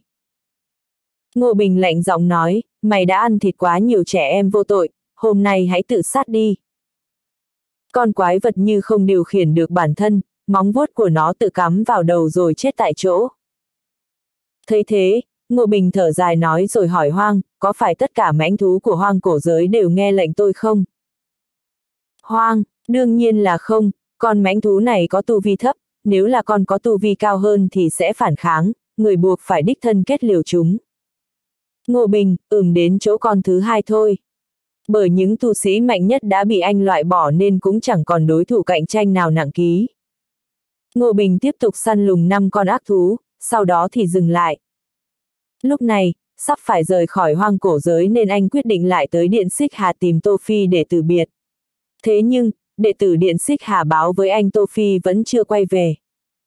Đã đến lúc phải rời đi, anh nghĩ ngợi một lát rồi quyết định quay lại giao chỉ trước. Anh hỏi, Hoang, giờ phải làm thế nào để trở về? Hoang, lần sau cậu chỉ cần dùng thần niệm, ta sẽ lập tức đưa cậu trở về. Ngô Bình, được. Cuối cùng anh cũng tìm được cổng ra, xung quanh đã có rất nhiều tu sĩ chờ đợi nhưng cánh cổng ánh sáng còn chưa chính thức mở ra. Nghe những tu sĩ kia nói chuyện là có thể biết được đại đa số bọn họ đều không thành công trong cuộc đi săn này, chỉ có rất ít người săn được một hai con. Mỗi người được yêu cầu săn những loài thú khác nhau, nhưng độ khó là như nhau. Ngô Bình nhờ có hoang chỉ dẫn mới giết được 5 con, khó có tu sĩ nào vượt được anh. Đợi hơn một giờ, cửa mở ra, giọng của người đàn ông mặc áo choàng bạc từ bên kia truyền đến, cửa đã mở ra, mọi người có thể trở lại giao trì. Ngay lập tức, tất cả các tu sĩ đi qua cánh cổng, rời khỏi hoang cổ giới. Lúc trở lại giao trì, Ngô Bình chưa kịp thích ứng ngay mà phải mất một lúc sau anh mới hồi phục lại như bình thường. Những người còn lại không gặp tình trạng này, bởi vì bọn họ căn bản chưa từng thích ứng được với hoang cổ giới. Cho nên lúc này, họ lại cảm thấy dễ chịu hơn so với Ngô Bình. Khi đoàn người trở lại giao trì thì đã là ngày thứ bảy và cũng là ngày cuối cùng diễn ra pháp hội. Người đàn ông mặc áo choàng bạc cười nói, mọi người, hôm nay sẽ là buổi cuối cùng của pháp hội. Những người đã lấy được quả bàn đào, xin hãy đặt quả bàn đào của mình trước mặt chúng tôi, người của chúng tôi sẽ đếm số lượng. Người có nhiều quả bàn đào nhất, sẽ được vương mẫu thưởng lệnh bài. Có lệnh bài này, có thể tự do đến thiên giới tu luyện bất cứ lúc nào. Ngay lập tức, có người đi ra đếm số quả bàn đào mà mọi người có. Kết quả đương nhiên là Ngô Bình có nhiều nhất. Người đàn ông mặc áo choàng bạc đưa cho anh một chiếc lệnh bài bằng bạch ngọc, cười nói chúc mừng Lý Tiên Sinh. Sau khi nhận được lệnh bài, Ngô Bình đã bí mật truyền tin hỏi phiêu miểu thiên tôn, sư phụ, thứ này đối với con không có tác dụng gì phải không? Tu luyện trong thiên giới thì cần phải duy trì được đại trận. Phiêu miểu thiên tôn, khi con trở thành một thiên tiên, con sẽ biết công dụng của nó. Thiên tiên là một trạng thái tồn tại khác, thiên tiên thực sự rất thích hợp để tu luyện ở thiên giới. Ngô Bình, vậy có rất nhiều thiên tiên sống ở thiên giới sao? Phiêu miểu thiên tôn có, nhưng số lượng rất ít, bởi vì cần có trong tay lệnh bài này mới có thể ở lại đó. Lệnh bài này tên là Thiên dẫn lệnh. Ngô Bình, khu vực chúng ta đang ở là thuộc khuyên giới, còn thiên giới thì sao? Nếu con đi tới thiên giới, có phải thiên giới cũng thuộc phạm vi của khuyên giới không? Đương nhiên không phải, có điều trật tự đại đạo của thiên giới là thuần khiết và mạnh nhất. Ở lại đó tu luyện, rất có khả năng bị đại đạo luyện hóa, trở thành một bộ phận của đại đạo. Cho nên, tu sĩ thả ở khuyên giới còn hơn là tiến vào thiên giới tu luyện. Đương nhiên nếu tu luyện được ở thiên giới thì sẽ gặt hái được rất nhiều thành tựu. Đến đây, Pháp hội giao trì kết thúc, Vương Mẫu tuyên bố bế mạc Pháp hội xong, mọi người liền rời khỏi đó. Ngô Bình đi gặp Chu Nguyên Thông nên tạm thời từ biệt phiêu miểu thiên tôn và Lam Hâm. Trước khi đi anh còn đưa cho Lam Hâm một quả bàn đào, quả trước đó đã tặng cho Thanh Vũ mất rồi. Trước khi Thanh Vũ rời đi, hai người họ đã kết bạn bằng bảo sách thiên kiêu để sau này tiện liên lạc. Sau khi rời khỏi giao trì, Ngô Bình ngay lập tức chạy đến phủ Ngô Vương ở Đại Lục Hồng Hoang. Chu Nguyên Thông và Đinh Mặc đã đợi hai ngày, cũng may trong phủ thết đãi họ rất chu đáo nên hai người cũng không cảm thấy nhàm chán. Họ còn đi thăm thú khắp nơi một lượt. Ba anh em gặp nhau, Đinh Mặc cười nói, chú ba, chú được lắm, vương ra cơ đấy. Ngô Bình xua tay, cũng là do bất đắc dĩ mà thôi. Chu Nguyên Thông cười nói, chú ba, hai ngày nay bọn anh được bao ăn bao uống thỏa thích, giờ không muốn rời khỏi nơi này nữa rồi. Ngô Bình đáp, bọn anh cứ ở lại bao lâu tùy thích, mấy anh em ta tụ tập thêm mấy ngày nữa. Đinh mặc, anh cả, chú ba, chúng ta nói chuyện chính đi. Khi nào thì khởi hành đến biển Tinh Túc? Biển Tinh Túc là một cấm địa ở đại lục Hồng Hoang, Đinh mặc tình cờ phát hiện bên trong đó có một không gian thần bí thuộc về thời đại trước. Cho nên, họ quyết định khám phá nó. Ngô Bình, hôm nay uống thật say, ngày mai đi. Hai người kia đồng ý ngay. Ngô Bình lấy thức ăn và rượu quý của mình ra, uống với hai người anh em kết nghĩa. Trong bữa tiệc rượu, anh lấy ra hai quả bàn đào đưa cho Chu Nguyên Thông và Đinh Mặc mỗi người một quả. Chu Nguyên Thông kêu lên, quả bàn đào. Chú ba, chú lấy ở đâu ra vậy? Ngô Bình cười nói, không phải em nói sẽ tham gia pháp hội giao chỉ sao? Mấy lần thi đấu em đều thắng, bàn đào này là do vương mẫu ban cho. Chu Nguyên Thông cảm thán, kiếp trước anh đây cũng huy hoàng lắm, nhưng chưa từng được ăn quả bàn đào. Chú ba, anh ghen tị với chú lắm đấy. Ninh mặc cười ha ha, chú ba là thiên tài tuyệt thế, ngay cả vương mẫu cũng cất nhắc chú ấy. Chu Nguyên Thông, chú ba, chú nên chuẩn bị tâm lý trước đi, có khi vương mẫu còn gả con gái cho chú ấy chứ. Ngô bội sửng sốt, không thể nào. Nếu gả cho em thì đã thông báo lúc ở Pháp hội rồi. Chu Nguyên Thông, nếu chú là vương mẫu, chú có liều lĩnh như vậy không? Ngô Bình, không, phải quan sát một thời gian đã. Chu Nguyên Thông, đúng vậy. Vương mẫu có thể đang bí mật điều tra chú, và khi cảm thấy chú là người tốt thì mới quyết định có gả con gái cho chú hay không. Ngô Bình thở dài, yêu cầu về con rể của vương mẫu quá cao. Chu Nguyên Thông, so với thân phận của vương mẫu thì cũng không cao lắm đâu. Lúc này, Lam Hân Nguyệt đi ra ngoài kính rượu họ, Ngô Bình cũng lấy một quả bàn đào đưa cho cô ấy. Sau khi uống rượu, Ngô Bình chợt nhớ ra cảnh giới thứ hai ý nghĩa thiên tượng của mình đã viên mãn, vì vậy anh đã đến đại thế giới kiếm đạo để lĩnh hội ý nghĩa thiên tượng cảnh giới thứ ba và thứ tư. Khi đến cổng kiếm thiên tượng kiếm môn, anh nhìn thấy công tôn Vũ Thanh. Ông ta nói cho anh biết môn chủ ra ngoài vẫn chưa về, cho nên ông ta tự mình đưa anh tới thiên tượng kiếm cung. Sau khi anh có được ý nghĩa thiên tượng cảnh giới thứ ba thì tiếp tục được truyền dạy ý nghĩa thiên tượng cảnh giới thứ tư. Có bốn cảnh giới trong ý nghĩa thiên tượng, đó là cảnh giới tượng hình, cảnh giới vạn tượng, cảnh giới thần tượng và cảnh giới thiên tượng. Cảnh giới thần tượng cũng chia thành ba cấp nhỏ, có chút tương đồng với thần lực kinh mà anh tu luyện. Cho nên, Ngô Bình lĩnh ngộ rất nhanh, chưa tới nửa giờ, anh đã đạt tới mức độ viên mãn cảnh giới này. Thần tượng là một loại năng lực học hỏi, có thể nhanh chóng khắc ghi đối tượng cần học tập trong động thiên rồi từ từ nghiên cứu.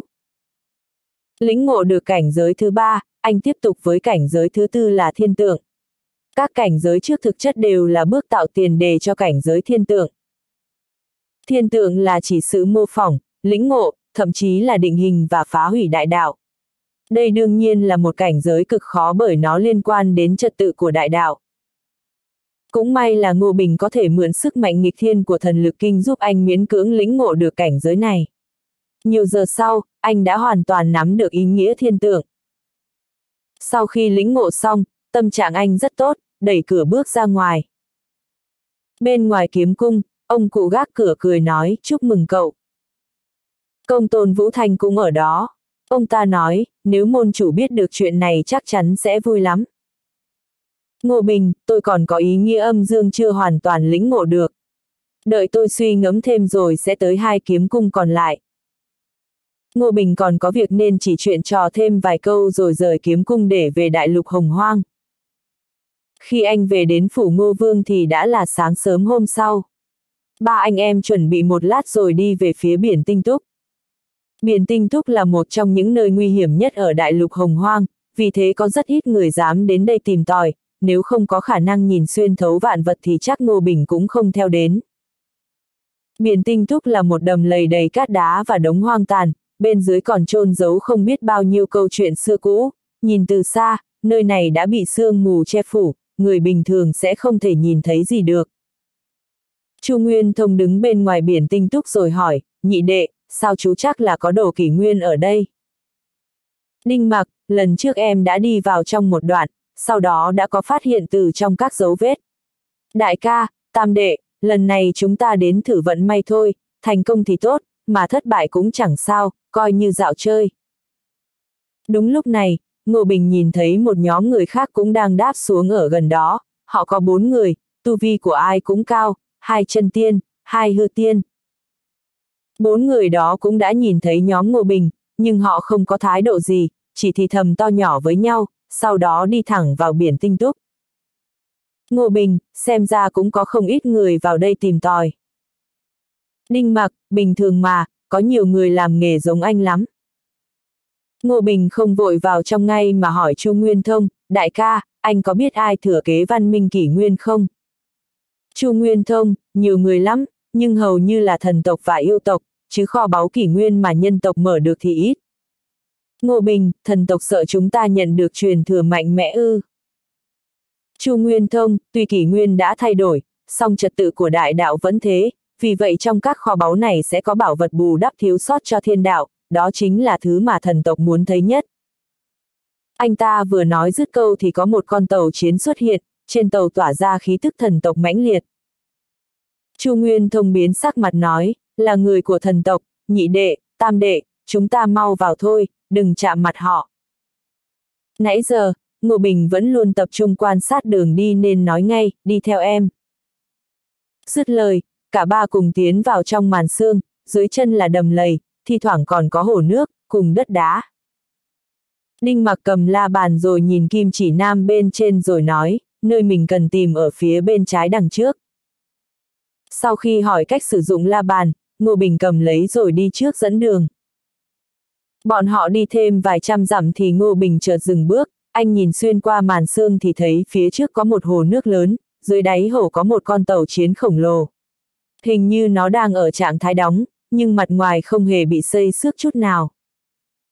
Ngô Bình thấy lạ nên hỏi Chu Nguyên Thông, đại ca, sao ở đây lại có tàu chiến nhỉ? Lẽ nào từng có chiến tranh ở đây ư?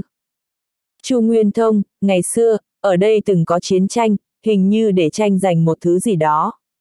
Trong trận chiến đó, đoàn quân của thần tộc đã đại bại. Ngô Bình, thế thứ đồ mà họ tranh nhau bị nhân tộc lấy rồi ư. Chu Nguyên Thông, chuyện này lâu lắm rồi nên anh cũng không rõ, nói chung tuy trận đấy ta thắng, nhưng cũng thảm lắm. Ngô Bình, đại ca, dưới đáy hồ phía trước có một con tàu chiến rất lớn, chúng ta có xuống xem không? Chu Nguyên Thông hỏi Đinh Mặc, nhị đệ, chú thấy sao? Đinh Mặc cười nói, tam đệ, không thể dùng thần niệm ở biển tinh túc được, sao chú nhìn được thế? Ngô Bình, mắt em tinh lắm. Ninh Mặc cũng không hỏi nữa mà nói, nếu bên dưới có tàu chiến thật thì mình phải xuống xem chứ, theo kinh nghiệm của anh thì kiểu gì trong đó cũng có bảo bối. Ba người đang chuẩn bị nhảy xuống nước thì chợt có một tàu chiến khổng lồ xuất hiện trên không, nó tỏa thần quang xuống mặt hồ như đang tìm thứ gì đó. Ngô Bình biết con tàu này chính là con tàu chiến anh nhìn thấy ở bên ngoài, anh híp mắt lại, lẽ nào họ cũng biết dưới đáy hồ có tàu chiến ư. Đúng lúc này, thần quang kia đã bao phủ ba người họ rồi dừng lại, một giọng nói vang lên, con người thấp hèn, mau rời khỏi đây ngay. Ngô Bình nổi giận, nhưng đã bị Chu Nguyên Thông cản lại. Anh nén giận nói, đại ca, sợ gì chúng nó, mình mà ra tay thì bọn nó cũng không phải đối thủ đâu. Chu Nguyên Thông, đó là tàu chiến cấp thần vương của thần tộc, nó có uy lực khiếp đảm lắm, chúng ta không nên động vào thì hơn. Ba người đi xa rồi thì Ngô Bình mới nói, đại ca, khéo trong con tàu chiến dưới đáy hồ có bảo bối đấy, em vẫn muốn tìm thử. Chu Nguyên Thông, giờ chú xuống đấy ngang với chỉ đường cho bọn kia à? Ngô Bình, em có thể độn thổ. Chu Nguyên Thông, vô dụng thôi, chú có thấy thần quang ấy không? Đó là pháp bảo của thần tộc, có thể nhìn thấy mọi thứ trong tam giới, các cách ẩn thân đều không có tác dụng với nó. Tuy Ngô Bình không cam tâm, nhưng không còn cách nào khác nên đành đi tiếp theo la bàn. Họ mới đi được một đoạn thì chợt có ba tu sĩ của thần tộc bay từ phía sau tới. Ba người này trông rất lạ, vẫn mang hình dáng con người, nhưng có nét gì đó rất kỳ quái. Trong đó, có một người đàn ông có đầu như con thằn lằn, ba người đi theo tôi. Trước đó, Chu Nguyên Thông không muốn gây sự, nhưng người ta cố tình kiếm chuyện trước thế này thì khác, anh ta nói ngay, chúng tôi không rảnh mà đi theo các anh, ban nãy bọn tôi bỏ đi là vì không muốn gây xung đột, nhưng không có nghĩa là chúng tôi sợ đâu. Tên đầu thần lần đó chợt lừ mắt rồi nói, con người đê hèn mà dám cãi lệnh của thần tộc à. Chết đi. Gã vung tay lên, một vật hình rồng da thú bay ra, sau đó há miệng định nuốt trọn nhóm Ngô Bình. Thần chú Long Bì, Chu Nguyên Thông biến sắc mặt rồi vung tay phóng một lá cờ ra, phù văn trên cờ tỏa sáng, sau đó ngưng tụ thành một con cự linh ba đầu sáu tay phản công. Quỳnh! Sau cú va chạm đó, trời đất như rung chuyển, không phân thắng bại. Đinh mặc nói, đại ca, lòng bì này là gì mà đến chiến kỳ cự linh của anh cũng không đánh bại được. Chu Nguyên Thông, đó là pháp khí thần đạo được luyện chế từ thi thể của chân long nên có uy lực rất mạnh. Tu sĩ dưới cấp đạo quân không làm gì được nó đâu. Ngô Bình quan sát rồi hỏi, đại ca, mình cầm cự được bao lâu nữa? Chu Nguyên Thông, nếu không còn cách nào khác thì không lâu nữa đâu. Ngô Bình, thế để em chém con kia. Ngô Bình vừa nói dứt câu thì kiếm trận trong động thiên của anh đã lóe lên, anh cho 20.000 tinh thạch kiếm khí vào để ngưng tụ thành một tia sét rồi chém về phía Long Bì. Tia sét lóe sáng, Long Bì không kịp phản ứng nên đã bị chém đứt đôi, các hắc khí tỏa ra, cùng với đó là tiếng kêu thảm thiết. Trong hắc khí này đều là hồn phách của tu sĩ nhân tộc, đếm sơ cũng phải trên chục nghìn, họ chính là nguồn cọi sức mạnh cho Long Bì. Tu sĩ thần tộc nổi giận nói, to gan, dám làm hỏng pháp bảo của ta chết hết đi. Gã phóng một thần phù ra tấn công nhóm Ngô Bình. Thấy thế, Chu Nguyên Thông không chút nhượng bộ mà lạnh giọng nói, lũ khốn này, xem sát bùa của ông mày đây. Quỳnh! Một sát khí bắn lên cao rồi tấn công nhóm tu sĩ thần tộc. Cheng! Kim giáp của tu sĩ thần tộc đã bị thanh kiếm chém đứt đôi. Gã nổi điên nói, chết tiệt, ma sát thần, giết.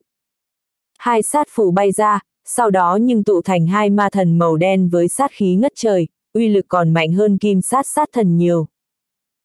Ngô Bình nói, đại ca, để em, anh lấy bốn lá sát phủ ra.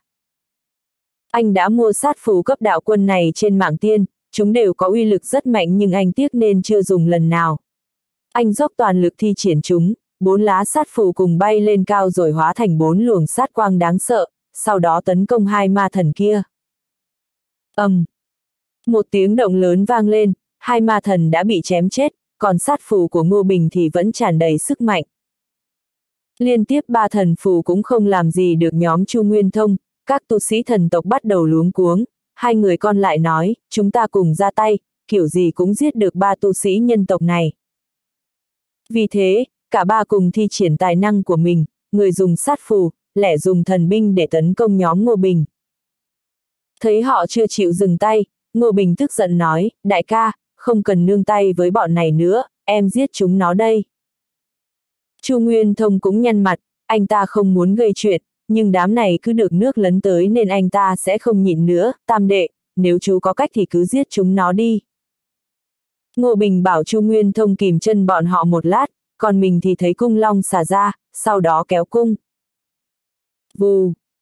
Một sát quang bay về phía một tu sĩ thần tộc, tên đó lập tức hoảng sợ rồi hai tay kết ấn, tạo ra một màn chắn bảo vệ cơ thể. ầm, um. Mũi tên bắn chúng vào màn chắn làm nó nứt toác, tu sĩ kia kêu lên hự một tiếng rồi hộc máu, sau đó hô lên, mau chạy thôi. Cung long xà có thể uy hiếp tính mạng của họ nên họ không dám chiến đấu tiếp nữa, mà định thu hết thần binh lại rồi bỏ chạy. Ngô Bình vẫn định ra tay tiếp, nhưng Chu Nguyên Thông đã cản anh lại, tam đệ, giặc cùng đường rồi thì chớ đuổi, chúng ta làm việc chính thôi. Ngô Bình hừ nói, coi như chúng nó gặp mau, lần sau mà gặp lại thì kiểu gì em cũng phải giết một, hai đứa. Chu Nguyên thông thở dài nói, bọn này có cả tư chất lẫn tài nguyên, ngày xưa chân nhân thái cổ thất bại, chư thánh cũng thế, giờ giới tu sĩ trẻ tuổi chúng ta trỗi dậy, không biết có thắng được họ không. Ngô Bình, đại ca, kiểu gì cũng có ngày mình dậm bọn nó dưới chân. Chu Nguyên Thông, đi thôi, tìm tiếp xem có thấy được bảo bối kỷ nguyên không. Dù chỉ là một, hai món thì cũng có lợi cho chúng ta nhiều lắm đấy. Sau đó, vẫn là Ngô Bình dẫn đường, ba người bước đi cẩn trọng. Hai tiếng sau, Ngô Bình đã nhìn thấy một quả cầu điện phát sáng, nó có ba màu thay đổi cho nhau trông rất lạ. Đường kinh của quả cầu hơn 20 mét, gần như dán xuống nền đất, nó chỉ có thể lăn qua lăn lại, chứ không thể rời khỏi. Thấy thế, Đinh Mặc nói, đại ca, tam đệ, chính là nó. Quả cầu này chính là một cánh cửa thời không, nó nối liền với một thời không thần bí. Nhưng em không thể đoán được bên trong có nguy hiểm hay không. Ngô Bình nhìn chăm chú vào quả cầu rồi khởi động khả năng nhìn xuyên thấu, anh nhìn thấy đúng là bên trong quả cầu có một thời không rất kỳ lạ. Rìa của thời không này được tạo thành từ nhiều mảnh thủy tinh thời không, chúng rất kiên cố, bảo sao nó có thể giữ được sự hoàn chỉnh sau bao năm. Ngô Bình quan sát một lúc rồi nói, đại ca, nhị ca, đúng là bên trong hơi lằng nhằng, nhưng có em dẫn đường thì chắc chúng ta sẽ vượt qua được thôi. Các anh thấy sao, mình vào trong thử vận may nhé. Chu Nguyên Thông cười nói, có ai chê tiền tài bao giờ, vào thôi. Ngô Bình mỉm cười rồi đi vào trước, anh vừa chạm vào quả cầu thì đã bị một luồng sức mạnh hút vào. Sức mạnh này rất lớn, nhưng không gây tổn thương cho anh, mà chỉ khiến anh thấy hơi khó chịu thôi. Sau đó, Chu Nguyên Thông và Đinh Mặc cũng vào theo, cả ba lăn beo beo, xung quanh toàn là tia chớp và ánh sáng ba màu. Nhưng một lát sau, ba người đã ngã mạnh xuống một mặt đất. Đây là một quảng trường rộng lớn, nền đất được lát gạch ngọc, xung quanh có sương mù ba màu nên không thể nhìn thấy phía xa. Đinh mặc nhấc chân rậm vài cái rồi cười nói, đến rồi. Ngô Bình ngó nghiêng xung quanh rồi chợt đi về phía bên trái ở đằng trước, Đinh Mặc và Chu Nguyên Thông vội và chạy theo, Chu Nguyên Thông hỏi tam đệ, chú có phát hiện gì à? Ngô Bình, đằng trước có một cái cột, nhưng xung quanh có một thứ như trận pháp, phải phá được trận pháp ấy thì mới thấy cái cột được. Đinh Mặc cười nói, tam đệ, khéo sau này anh đổi nghề thôi. Rõ ràng anh là dân trong nghề mà chẳng phát hiện ra gì cả, trong khi đó chú lại dễ dàng tìm thấy các cơ quan. Ngô Bình, nhị ca, sau này anh đi theo em học nghề đi. Đinh mặc thở dài, Chu Nguyên Thông cười phá lên, nhị đệ, giờ chú thấy tam đệ giỏi chưa? Đừng nói là chú, đến anh còn ngạc nhiên lắm đây. Ba người đi thêm vài trăm bước, Ngô Bình chợt nói, đại ca, nhị ca, hai người đứng đây chờ em. Dứt lời, anh bật người lên rồi đáp xuống một viên gạch ngọc. Viên gạch hơi lún xuống, cùng với đó có đường vân lập thể hiện ra cùng các vòng xoáy năng lượng. Thứ này rất phức tạp, đến dẫn trong nghề như đinh mặc nhìn mãi cũng không biết. Nhưng Ngô Bình chỉ liếc qua rồi giơ tay điểm vào một vòng xoáy, ngay sau đó đại trận được khởi động, có nhiều vòng xoáy xuất hiện hơn. Ngô Bình bước sang trái ba bước, rồi tiến lên bốn bước, hai tay thì liên tục đập vào các vòng xoáy, ánh sáng của đại trận thay đổi liên hồi, các vòng xoáy biến mất dần. Sau khoảng 100 lần như thế, tất cả vòng xoáy đã biến mất, sương mù cũng tan đi.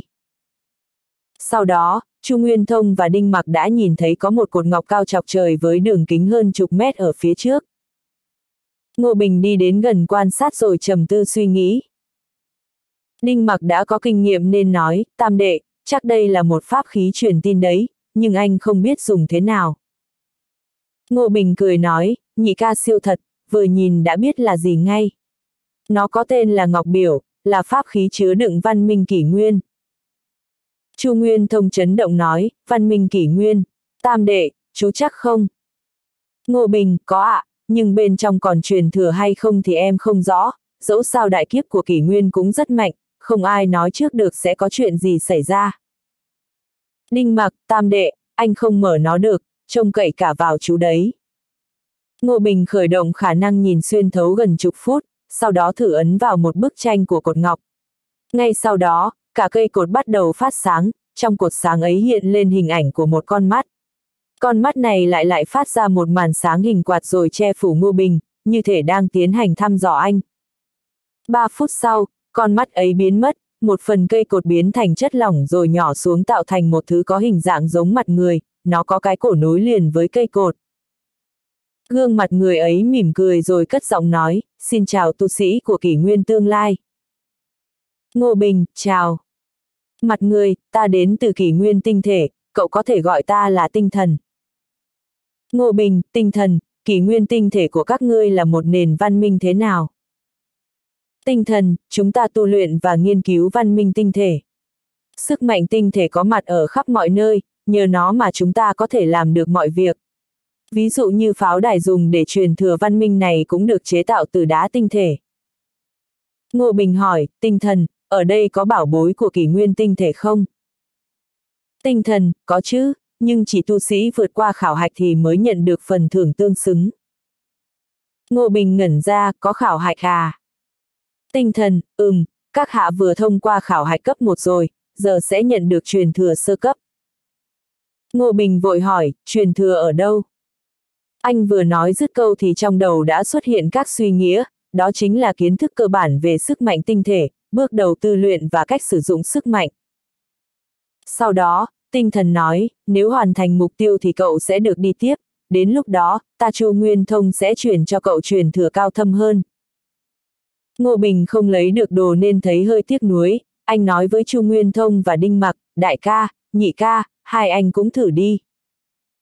Họ cũng học theo Ngô Bình rồi đứng trước cây cột, đôi mắt quét họ xong thì Chu Nguyên Thông cũng nhận được một bộ truyền thừa cơ bản, tiếc là Đinh Mặc chưa qua được khảo hạch cấp 1 nên không nhận được gì. Đinh Mặc cười ngượng, anh kém thế à? Ngô Bình, nhị ca đừng buồn, em sẽ dạy lại cho anh. Đinh Mặc xua tay nói, khảo hạch cấp 1 còn không qua được thì chứng tỏ anh không có duyên với kỷ nguyên này rồi, cố tu luyện cũng chẳng để làm gì. Thấy anh ta nói cũng có lý nên Ngô Bình không thuyết phục nữa, anh nói, đại ca, bao giờ về chúng ta sẽ tự tu luyện, để xem có tu luyện được ra sức mạnh tinh thể không.